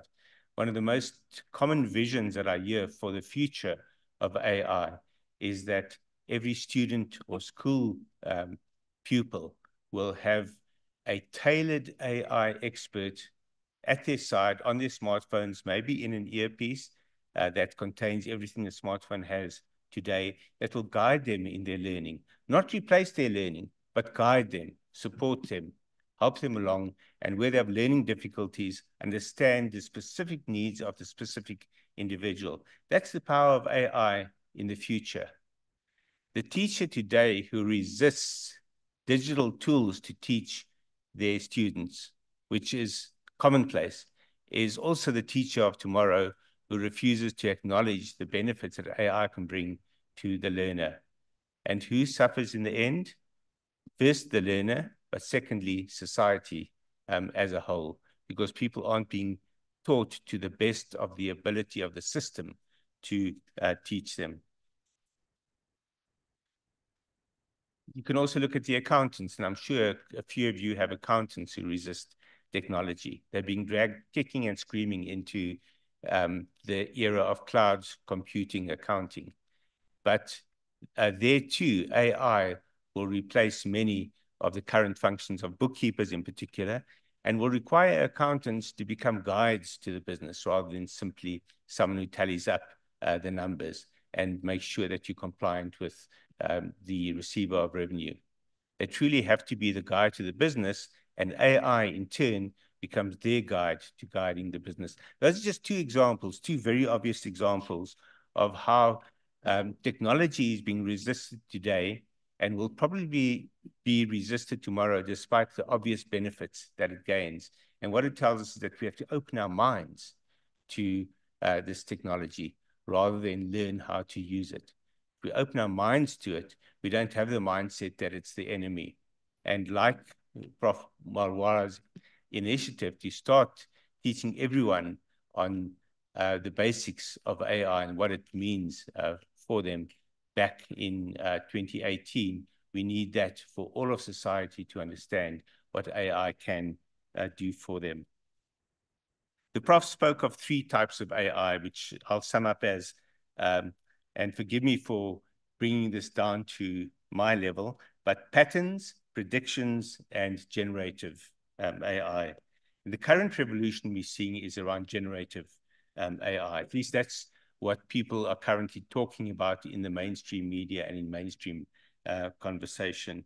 Um, but we have seen the patterns aspect of it, the ability to find patterns in data already transform many uh, sectors like cybersecurity, risk management, and in particular fraud prevention. Banks use that pattern recognition of AI and machine learning as a, a fundamental element of their risk management and preventing fraud in their um, environments. But it's that other one. We spoke about patterns, we spoke about generative AI. It's the third one that I believe is the most exciting for the future, and that is uh, the predictive capabilities of AI. The prof spoke about the fact that um, it's not truly predictive at present because it can only draw on the information that is at its disposal and it hasn't got information from the future. But as AI becomes more powerful and is able to extrapolate more um, accurately and more quickly on what the current data will probably lead to, it's uh, likely to uh, become the next uh, revolution in what AI can do for us in terms of solutions uh, to our needs. So um, I truly believe that the potential of combining and evolving um, predictive AI with generative AI with uh, pattern uh, recognition is uh, going to aid us in addressing the perils of AI as well. Because while we can never forget the negatives, the potential damage, the biases, um, the misuse of AI, uh, and uh, the like, it's where it's going to help us further in addressing the um, needs of society that it'll truly come into its own. Uh, the foreword to this book, by the way, is written by um, one of uh, Prof. Marwala's former students, uh, Benjamin Rosman, who's now a professor at uh, Wits uh, uh, in AI, who says that um, the wonderful thing about AI is that most problems can be solved if you throw enough intelligence at it. And that's what AI will bring to that uh, particular uh, equation. We ask what jobs it will destroy, and I believe we will be able to ask AI itself what jobs it will destroy in the future. But it's not quite ready for that because AI only knows what it knows, so to speak. And it doesn't know what we don't know and what it doesn't know yet.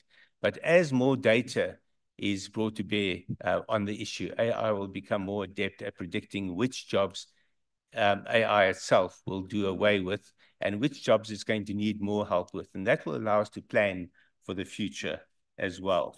Um, and certainly, um, while ChatGPT uh, right now can actually give us some great answers on uh, how current jobs will be transformed by AI, it's actually just guesswork at the moment. It's very good guesswork, but it's still just guesswork. You have to fact check every single thing that generative AI uh, tells us. And I do believe that a combination of generative and predictive AI should be able to give us um, actionable answers to these and similar uh, questions. We also face the risk of reduced self-reliance and critical thinking. But I want to quote the warnings of a legendary media critic from the 90s, Neil Postman, who wrote in a book in 1992, so pre-commercial internet. It was called Technopoly, The Surrender of Culture to Technology. And he wrote, The internet is a wonderful tool for acquiring information. It is not a very good tool for learning. Learning requires thoughtful reflection, and the internet is designed for rapid consumption of information.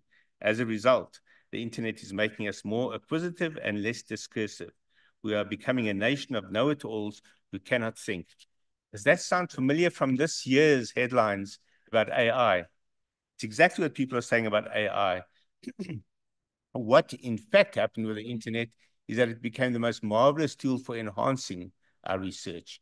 And I firmly believe that uh, 30 years from now, if we look back at the warnings of today, we'll also realize that in the same way, they were overblown and overstated because like AI, we cannot yet predict the future, but we can see the power of this technology. And I do believe that between generative and predictive AI, we can come up with numerous me mechanisms to counter the effect that Neil Postman uh, talks about. And part of that, though, is what Prof. Marwala was speaking about. And I would heartily endorse his call for collaboration, investment, and AI-specific infrastructure. Moreover, his call for multidisciplinary and multi-sectoral partnerships is a necessary and urgent imperative to address both the needs and the perils of AI. But we must use AI as a partner in this process. The humans must set in process the, uh, and in motion um, the um, ideals we're talking about.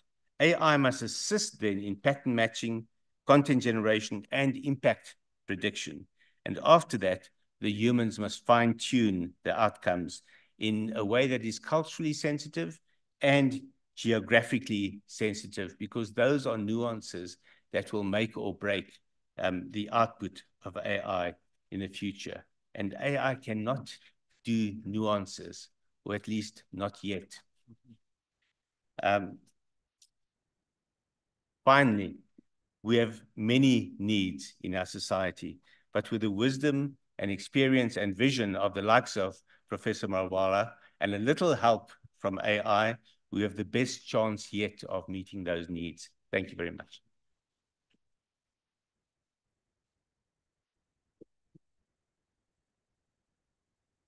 Another round of applause, please. Now, spoken like a true believer, I think you've drank the AI Kool-Aid. I agree with you. Uh, colleagues, um, we are now entering a, a, very important phase of our evening, which is uh, the question and answer session, which will be led by Professor Bhaso Ndzendze, you know, who's the, the head of uh, political science and international relations you know, in this university. Professor Ndzendze got his PhD at 24. I mean, he's a real whiz. so we're happy to have him here. And um, earlier this year, he co-authored a book with uh, Professor Marwala, Artificial Intelligence and International Relations Theories, which was published by Springer.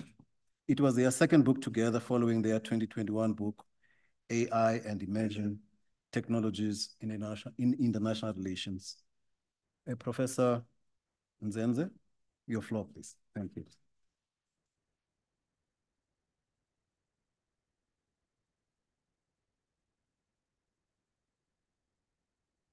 Well, uh, Vice Chancellor, Professor Mpedi, uh, our program director, and uh, all of you, our esteemed guests, uh, ladies and gentlemen, good evening.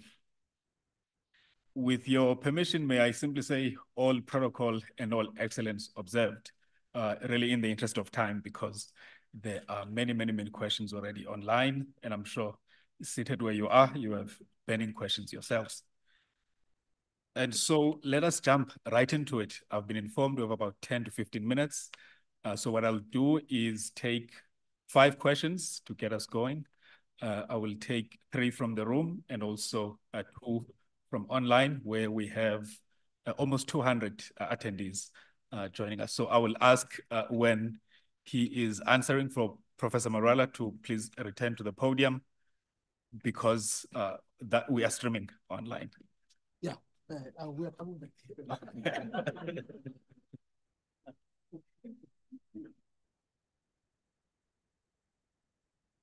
what program director? I don't know what to quite do.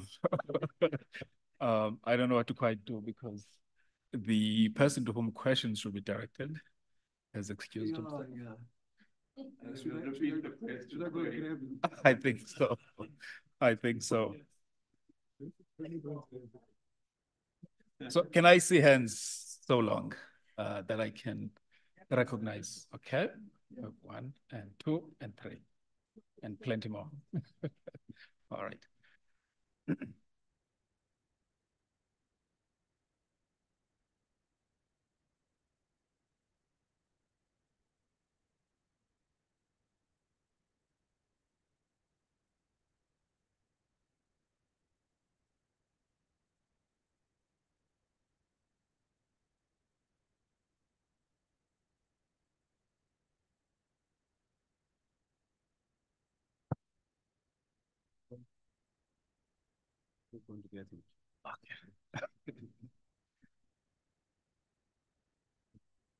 Why don't you take the questions and then you come back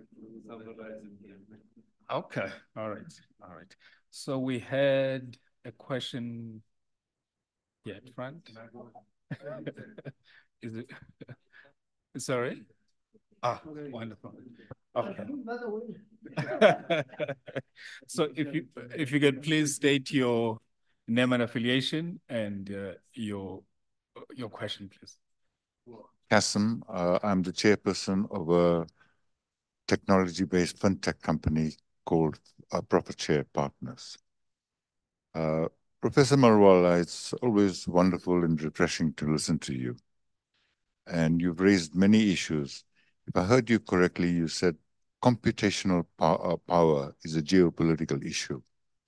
Now, you know, I'm not a technological determinist, but I do believe in the power of technology and its transformative effects from the steam engine to the digital revolution.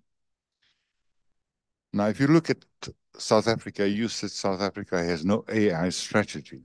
But one can go beyond that and say, what is the strategy for South Africa? South Africa, in fact, has no strategy.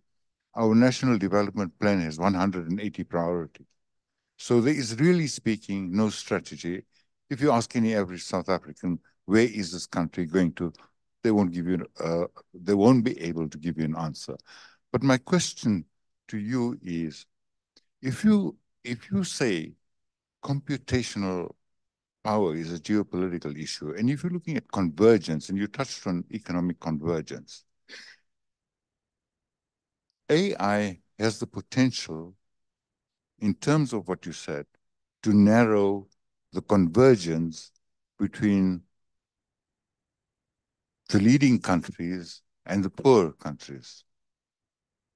So I want to, uh, uh, my question to you is, how can we unlock growth and the power of uh, AI to achieve uh, better convergence? Because that should be a challenge in geopolitical terms. But does it solely rest on computational power? I think it's underpinned by political will, and that is missing. So technology has transformative power, but it's if it's uh, if it's if it's not backed by strong political will, then we we we we're facing a, a mighty problem here. Thank you. We had a second question from the Dean of CBE. Thank you. Um, thank you, Prof, uh, for, for the lecture. It's... Am I audible? Oh, okay. No, thank you. So you mentioned, uh, Prof. Marwala, data poor or and data rich status as the biggest differentiator of our times. Uh, unlike mineral wealth, I think data exists everywhere where there is life, but it may be in a format that is not readily uh, usable. I would like to get your view in terms of what infrastructure a country like South Africa needs to be able to convert the data from its raw state into a usable format for development purposes? Thank you. Last question for this round, uh, in person. Yes, sir. You, sir. Oh, the mic. Thank you. Um, is it working? Yeah. Let, let's. It, Prof, it's always wonderful to listen to you and be uh, one of your really admirers of the work that you do around the world. Um, and this question almost relates to my colleague who has just uh, uh, posed one now, the missing data. Uh, that almost points towards the African context in which the example that you provided, for instance, where it was uh, a system was not able to identify you and it identified everyone else. Now, that is massive. We, we, we try to, to minimize that, but it, in actual fact, it's massive. How are we going to extract the missing data in the African context? And we, we are beginning to push towards, especially in mathematics, I, am a professor of mathematics, and we, we're beginning to push towards understanding data from, by developing constructs such as data science, which is becoming massive now. Colleagues at Stanford University, uh, Jo Boaler, are now, in fact, infusing that into the mathematics curriculum at high school. And I'm, I'm contemplating we ought to do that while we talked about data handling at a very elementary level, in fact, it goes as far as uh, uh, high school, we pushed it as data handling, but I think we must push it into data science, which becomes fully a curriculum for everyone.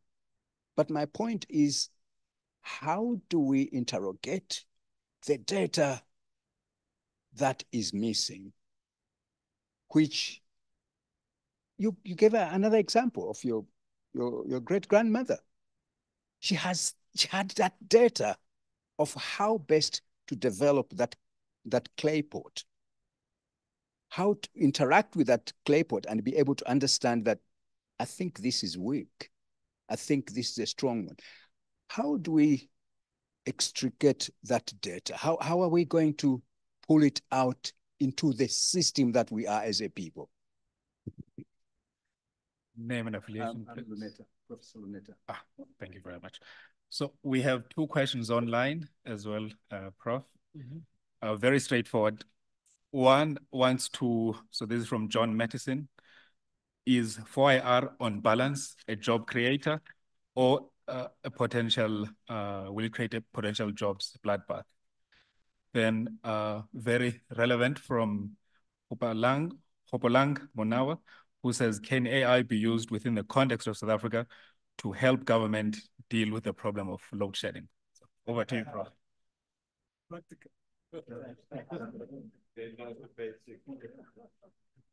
No, no, no. Th th th thank you very much for those uh, difficult questions. And of course, uh, on the issue of uh, narrowing the gap, is AI going to narrow the gap between the, uh, the, the, the, the developed countries and the developing countries?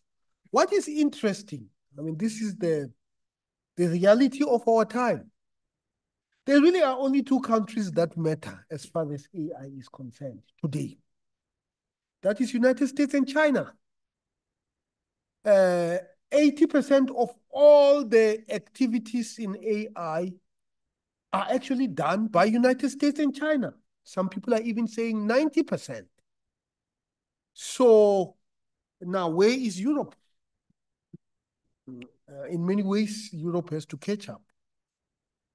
Uh, uh, um, just think about it. There is no single company from the European Union that is bigger, that is AI company that is bigger than Alibaba or Tencent or Google or Facebook, you know, uh, that's the reality. If you look at the top 10 AI companies, they're mainly in United States, but they're also in China and nowhere else. You know, so this is a different type of of of of uh, of of the divergence uh, that has emerged as a result of of of of of of, uh, of these countries. Now, let's get to the new wave that is large language models. And this is how I see it. English has become so important. It has always been important, and I and I have been studying quite quite quite a bit because when you compute, whether you are computing in Java, the syntax is written in English. You know, and you can almost see it. You know, now that I live in Asia, the, how how how that these advantages other countries and disadvantages other countries. Now, large language models, they basically get this data from the internet. And I went to, uh, uh, uh, to, to, to, to Kyoto and I was talking to an expert in large language models. Says, you know, the problem is that in Japan, only 2% of written material in the internet is in Japanese. Then I asked, how about English? English is almost 60%. It's actually quite incredible when you think about it that 60% of all things in the internet are written in English. And this is going to obviously place certain parts of the world at an advantage over others. And right now, it is clear uh, which part of the world is winning when it comes to this uh, new type of AI that has just in, uh, become much more um, to our uh, attention. Now let's let's talk about data poor and data rich. What when I was a PhD student many many years ago, what you will do, you will take data and you will process it. Data processing was a big technology. You know, how to clean the data. Uh, uh, uh, Professor Mashao, you still remember? Uh, frequency domain, you take it from the time domain to the frequency domain, and you still cannot see everything. And you have to take it to, of course, uh, uh, a time frequency domain so that you can see how it is evolving in the time domain and how it is evolving in the frequency domain. Today, because of computational power, people don't do that anymore. Uh, the AI is doing it for them. That's something that we had to do uh, ourselves. So I guess what I'm saying is, is saying that if you have computational power, you know, the, the data, the data processing problem, it does not exist anymore. Is it good or bad? Are we going to find applications where we need to go back and retrain people on Fourier transform? I don't know. You know. Then linked to the issue of missing data. I, there's a technical solution to missing data. Uh, let's just take the uh, the issue of, uh, and then there is a human uh, problem which is the issue of uh, wisdom. So let's talk about the data, the, the antenatal database. The, the vector that was always, the, the, the, the, the, the, the data that was always missing most of the time was the age of the father of the child that is unborn. It tends to be missing if the gap between the mother of the child and the father is huge. Uh, we dealt with it here in Senate. Uh, the what do you call the uh, uh, the cars that are parked outside? Uh, sugar daddies. I was sitting in this room when we were developing a strategy to deal with issues of sugar daddies. you already know that if it is missing, it's probably because somebody is shy about it. Maybe it's because it's too long. The other uh, uh, uh, issue was uh, income. You know, sometimes, normally it's because it is too low and they don't want to rebuild. So wisdom must, somehow, wisdom must come into the picture to be able to deal with this issue. But it's a, it's, it's, it's, it's, it's a difficult issue. Now, is is 4IR. I don't want to use the word 4IR. I think 4IR is outdated. and of course, they are laughing because I was here preaching 4IR.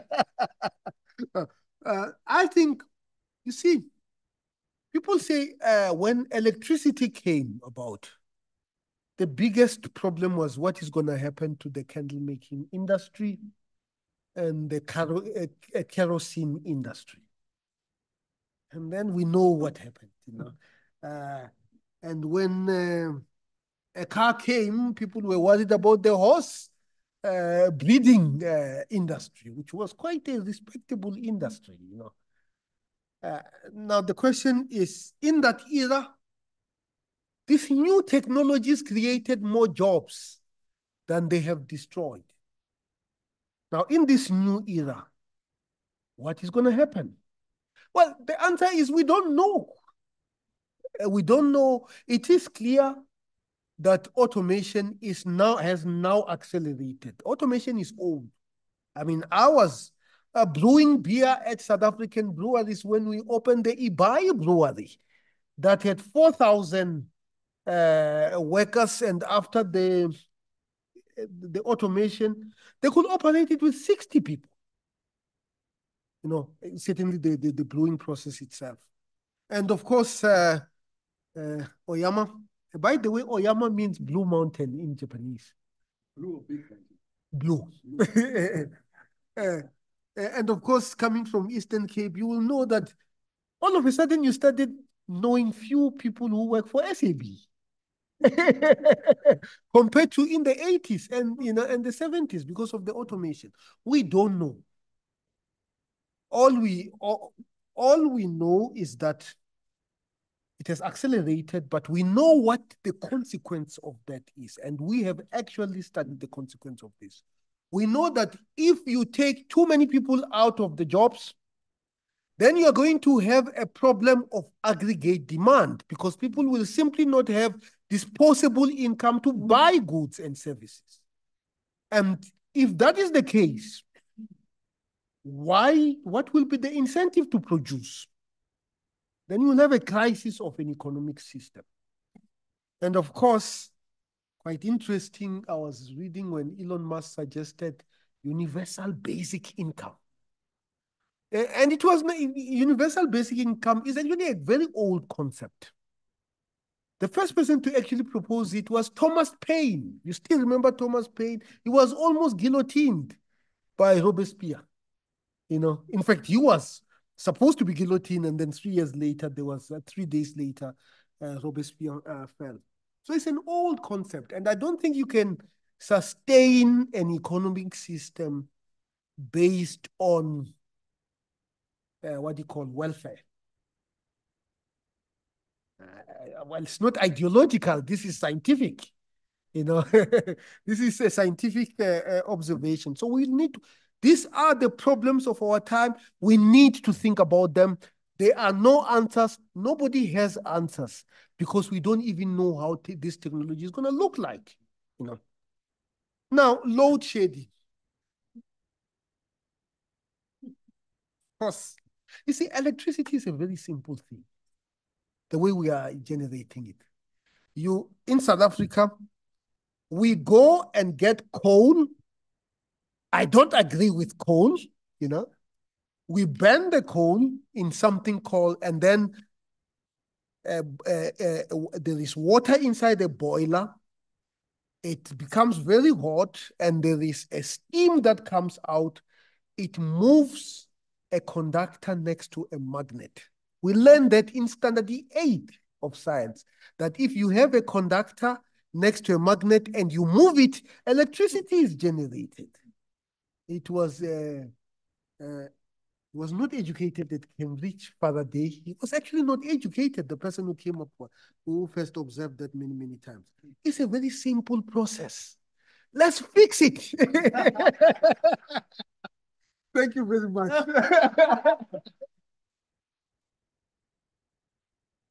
Making the minister of electricity. I agree. I agree.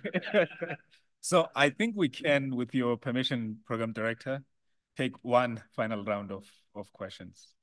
So we'll take some online, uh, but uh, we'll first give uh, first preference to those who are here. So can I see some hands for this round from the program director himself? Uh, uh, Professor Marwala, I don't know if I misunderstood.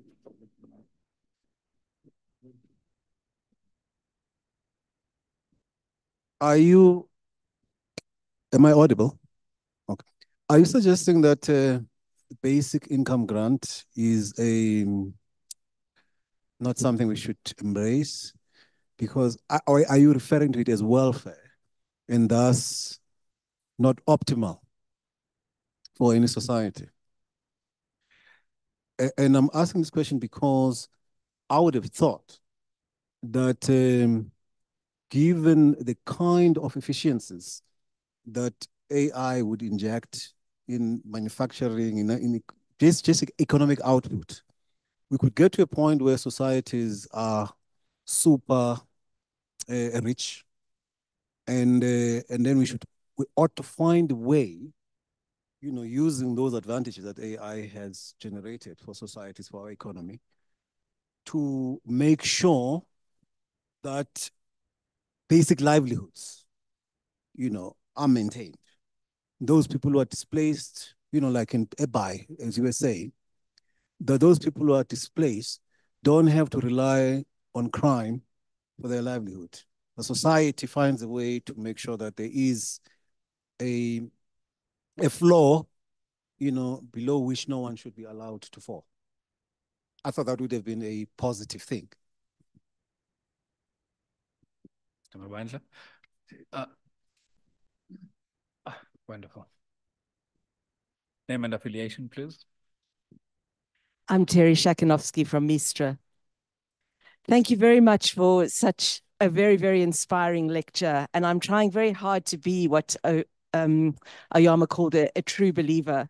And it does sound very, very wonderful what, what we're being offered. But, but as I listen, I wonder if the, the biggest inequality is not data rich and data poor, but those who are able to develop, create, and manipulate the AI and you know, the most of the world that is left out. So the kind of inequality you're talking about where it's America and China only that are the big firms, is that not mirrored um, on a smaller scale in society where it's fewer and fewer people that are actually able to determine the world that, that we'll be inhabiting? So just a short example, I may not be a surgeon or a kidney specialist, but if there's something wrong with me, I, I could, at the very least, I understand how to use a medical textbook. I could read. I could in a way that feels absolutely beyond me, certainly for, for AI.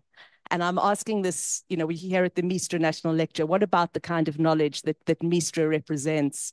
Will we be left out of a whole new world given, given what AI is producing and doing?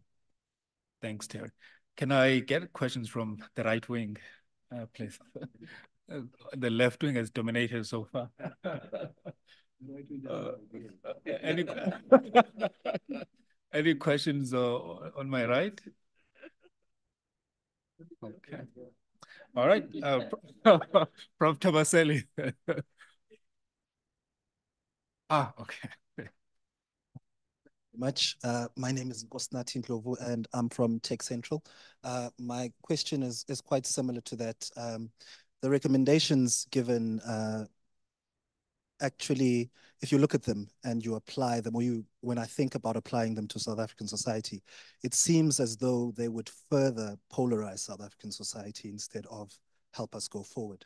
Because if we say educate South Africans on artificial intelligence, what would happen in South Africa is that a few people would gain a lot of education very quickly and a lot would get left in the dark. Uh, establish an institute some a few people would engage with that institute and learn quickly and then a, a lot get left in the dark. So is there so given these recommendations what should be prioritized to ensure that there's more inclusive growth going forward? Uh, let me take two questions from online. Uh, so the first is from uh, uh Tabileng Motabi from Sibanye Stillwater. And uh, uh, uh, says, thank you for a great lecture with insights and wisdom. And then says, in the absence of an AI regulatory framework, um, as you said, Prof, would uh, you propose that the mining industry and the private sector in general um, implement some of the recommendations put forward by your commission, drawing from lessons learned in the use of AI in the mining sector?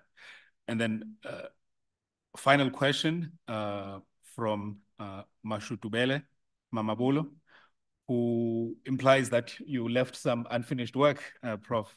He says that I would have you mentioned that South Africa does not in, have an AI strategy. I would have thought that a commission on AI that was recently created by the president and of which uh, Prof was chair uh, was created to come up with such a strategy. Why is it that we don't have a strategy by now, despite what the commission has um, has done and has been in place for a while? Thanks. No, no, no, thank you very much. I, I just need to, for those of you who have not read the history of the French Revolution. The left wing and the right wing has nothing to do with uh, anything other than where you are seated. it just so happened that uh, the Jacobins used to prefer to sit on the left-hand side, uh, and, and uh, the Giro, Girondins uh, and the mountains they wanted to, to sit on the other side. So, uh, uh I mean, uh, the issue of uh, uh, the perpetual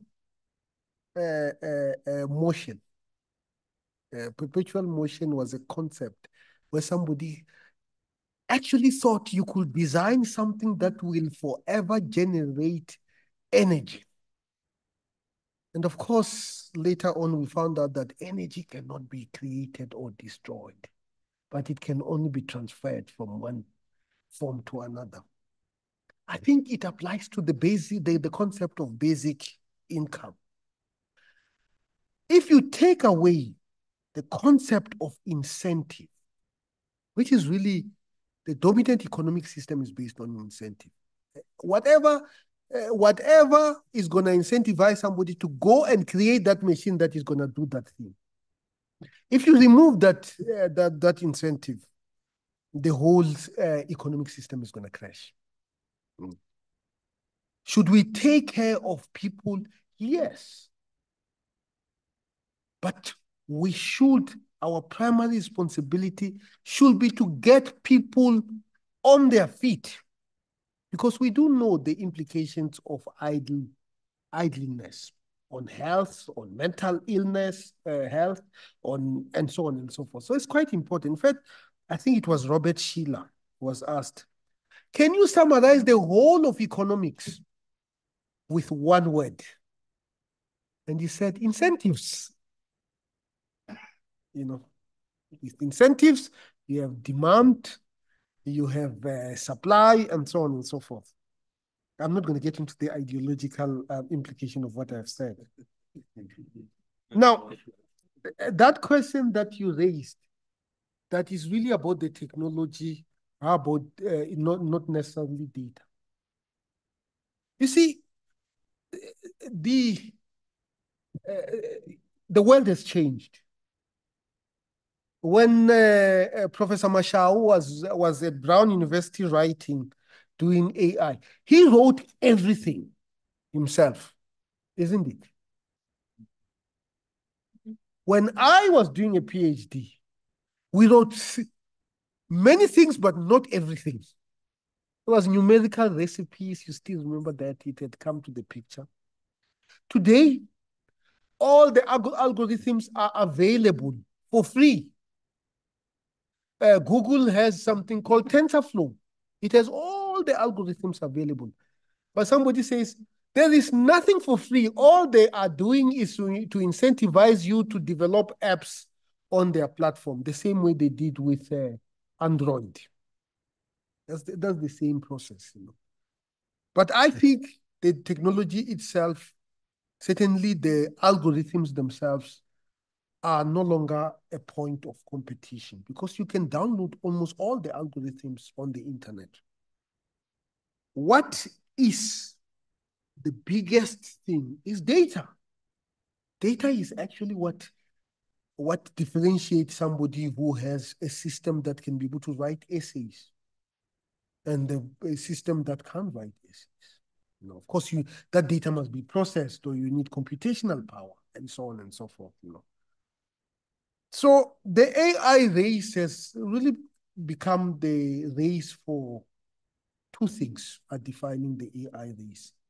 Access to data and access to, to the, the computing power that you need to use the algorithms that are freely available to create, to, to, to, to make sense or to create systems that are going to do things, generate or predict.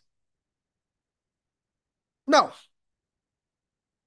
the fourth industrial revolution commission uh, recommendation. I, I always, I, I said, I will say this, you know, life is always a tale of two cities. Uh, the responsibility of good leadership is to design mechanisms to ensure that uh, whatever comes out of whatever recommendation you are dealing with, you take care of the greatest number of people. It's called the principle of utilitarianism, you know. And of course, there are sciences that have been developed to create mechanisms. And I'm not, I don't like to be, uh, uh, Wongani was telling me that I am a PR machine.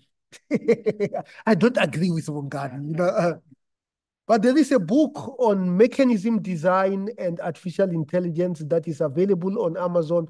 Go and buy it. You know, it will tell you how to design systems that are able to have a particular outcome. I'm not going to reveal the author, you know. now, the mining industry. I think it has to automate. I think I think there is uh, somebody was telling me that there used to be a statement in Japan that says that it is immoral to to to to to require people to do that which can be done by a machine especially if the point at which these people are supposed to operate this is known to be a dangerous place i used to have a red ticket by the way uh, for those of you in the mining industry you know what a red ticket is is you will go to a doctor, they will take an examination and they say you can go down. Uh, uh, just after my undergrad, I worked for CSIR Mining Tech and I had to get a red ticket. You know, It's a dangerous place. It's humid. And I think the mining industry must automate. It's a very difficult automation because the robot there is on rocks. There is lots of humidity. And in mechanical engineering, if there's humidity, you know rust is the consequence of that, which means things are not going to move as efficiently and so on and so forth. We need to understand that it's a much, much more difficult place to automate than an assembly line at, a, at an automotive um, company. The AI Commission, was it supposed to was in the 4IR, no, no, no, the 4IR Commission was not supposed to come up with an AI strategy because the fourth industrial revolution involves things like blockchain that that have all their own issues. Uh, it, it, involved issues like uh, Internet of Things, artificial intelligence, and so on and so forth, and biotechnology. So it was, uh, we were trying to uh, uh, to craft a path for uh, for, for the group of technologies, and we are saying that this technology, one technology, which is artificial intelligence, is actually supposed to be uh, taken seriously given the sort of gains that it has made. So thank you very much. No more questions. Thank you very much for inviting me. I am glad. Wow, wow, wow, wow, wow, wow. Uh, ladies and gentlemen, we've come to the summit of our evening. And the person who will close this evening is our executive director, Joel Katu Netshitenzhe. Um, those who don't know him, he has a Master of Science degree in Financial Economics and a postgraduate diploma in Economic Principles from the University of London, as well as a diploma in Political Science from the Institute of Social Sciences in Moscow, also known as the Lenin School. Thanks, sir. Thank you very much, uh, Program Director and Chair of uh, our Council of Advisors. I should also acknowledge the other leaders of MISTRA, uh, the board and the council on this occasion of our annual lecture. And uh, thank you to the Vice Chancellor, Professor Letlhokwa Mpedi, and other leaders of the University of uh, Johannesburg who have graced this occasion. Uh, Professor Marwala, listening to you today, one has come to a fuller understanding that a phenomenon that many of us thought was a, a few years, if not decades away, is actually manifesting in real life today. And so perhaps the words of uh, Ernest Hemingway come to mind. He was talking about a different issue altogether, bankruptcy. And to paraphrase him, how did you get into the era of artificial intelligence? Two ways, gradually and then suddenly. So it is precisely this apparent suddenness that motivated us as MISTRA to have this lecture today. And it would seem that all these complex systems and their complex nomenclature are permeating the entirety of human life in both open and insidious ways. And for the uninitiated like myself, we discover their presence in our lives after the fact. And so your assessment of this curate's egg is both worrying and reassuring. You have warned us about the disastrous consequences that can emanate from AI, but you also reassure us that uh, AI can be used to improve the human condition. As you advise, the issue is how to use artificial intelligence to complement and enhance human capabilities and how to ensure collaboration in innovation and in changing the regulatory ecosystem.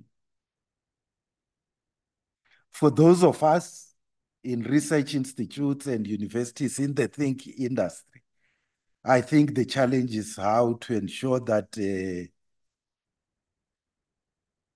we have a transdisciplinary treatment of artificial intelligence as it evolves.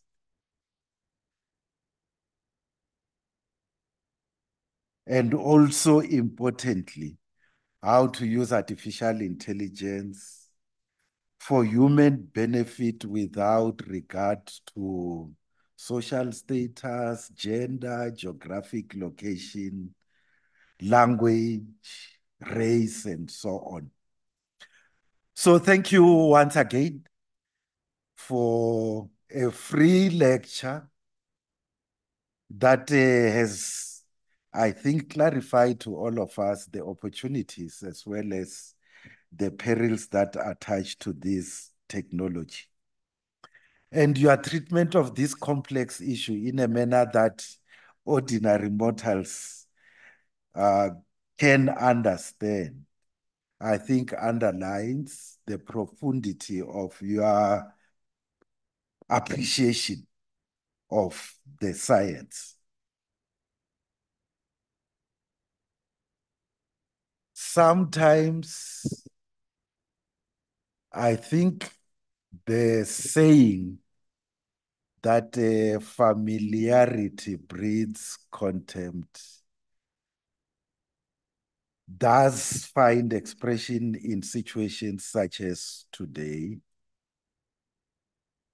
in the sense that because we know you, because you are a friend and a peer to many of us, and because you are easygoing, we tend to forget what a great asset you are, Prof, to South Africa and to humanity at large.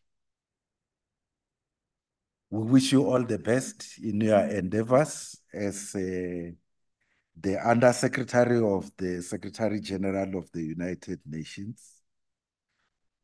And we are reassured because of the work that you are undertaking at the United Nations University that you are not lost to Africa, you are not lost to South Africa, and should I add, you are not lost to UJ and you are not lost to Mistra.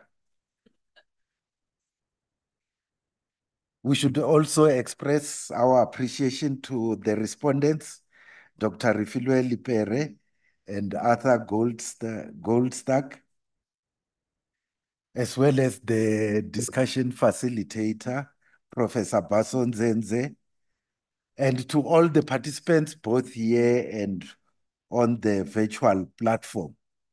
We are also indebted to the organizing team from both MISTRA and UJ, including our PR agency 2807, as well as Yellowwoods, who sponsored the occasion. We do hope that next year's Mapungubwe lecture will largely be physical so that we can more directly revive the friendships that used to exist before COVID. So thank you to everyone, both here and on the virtual platform. The lesson has been internalized, I think not only by myself, but all the participants that what you need to do is to think about human benefit. Technology should just complement that. Thank you my, very much to everyone.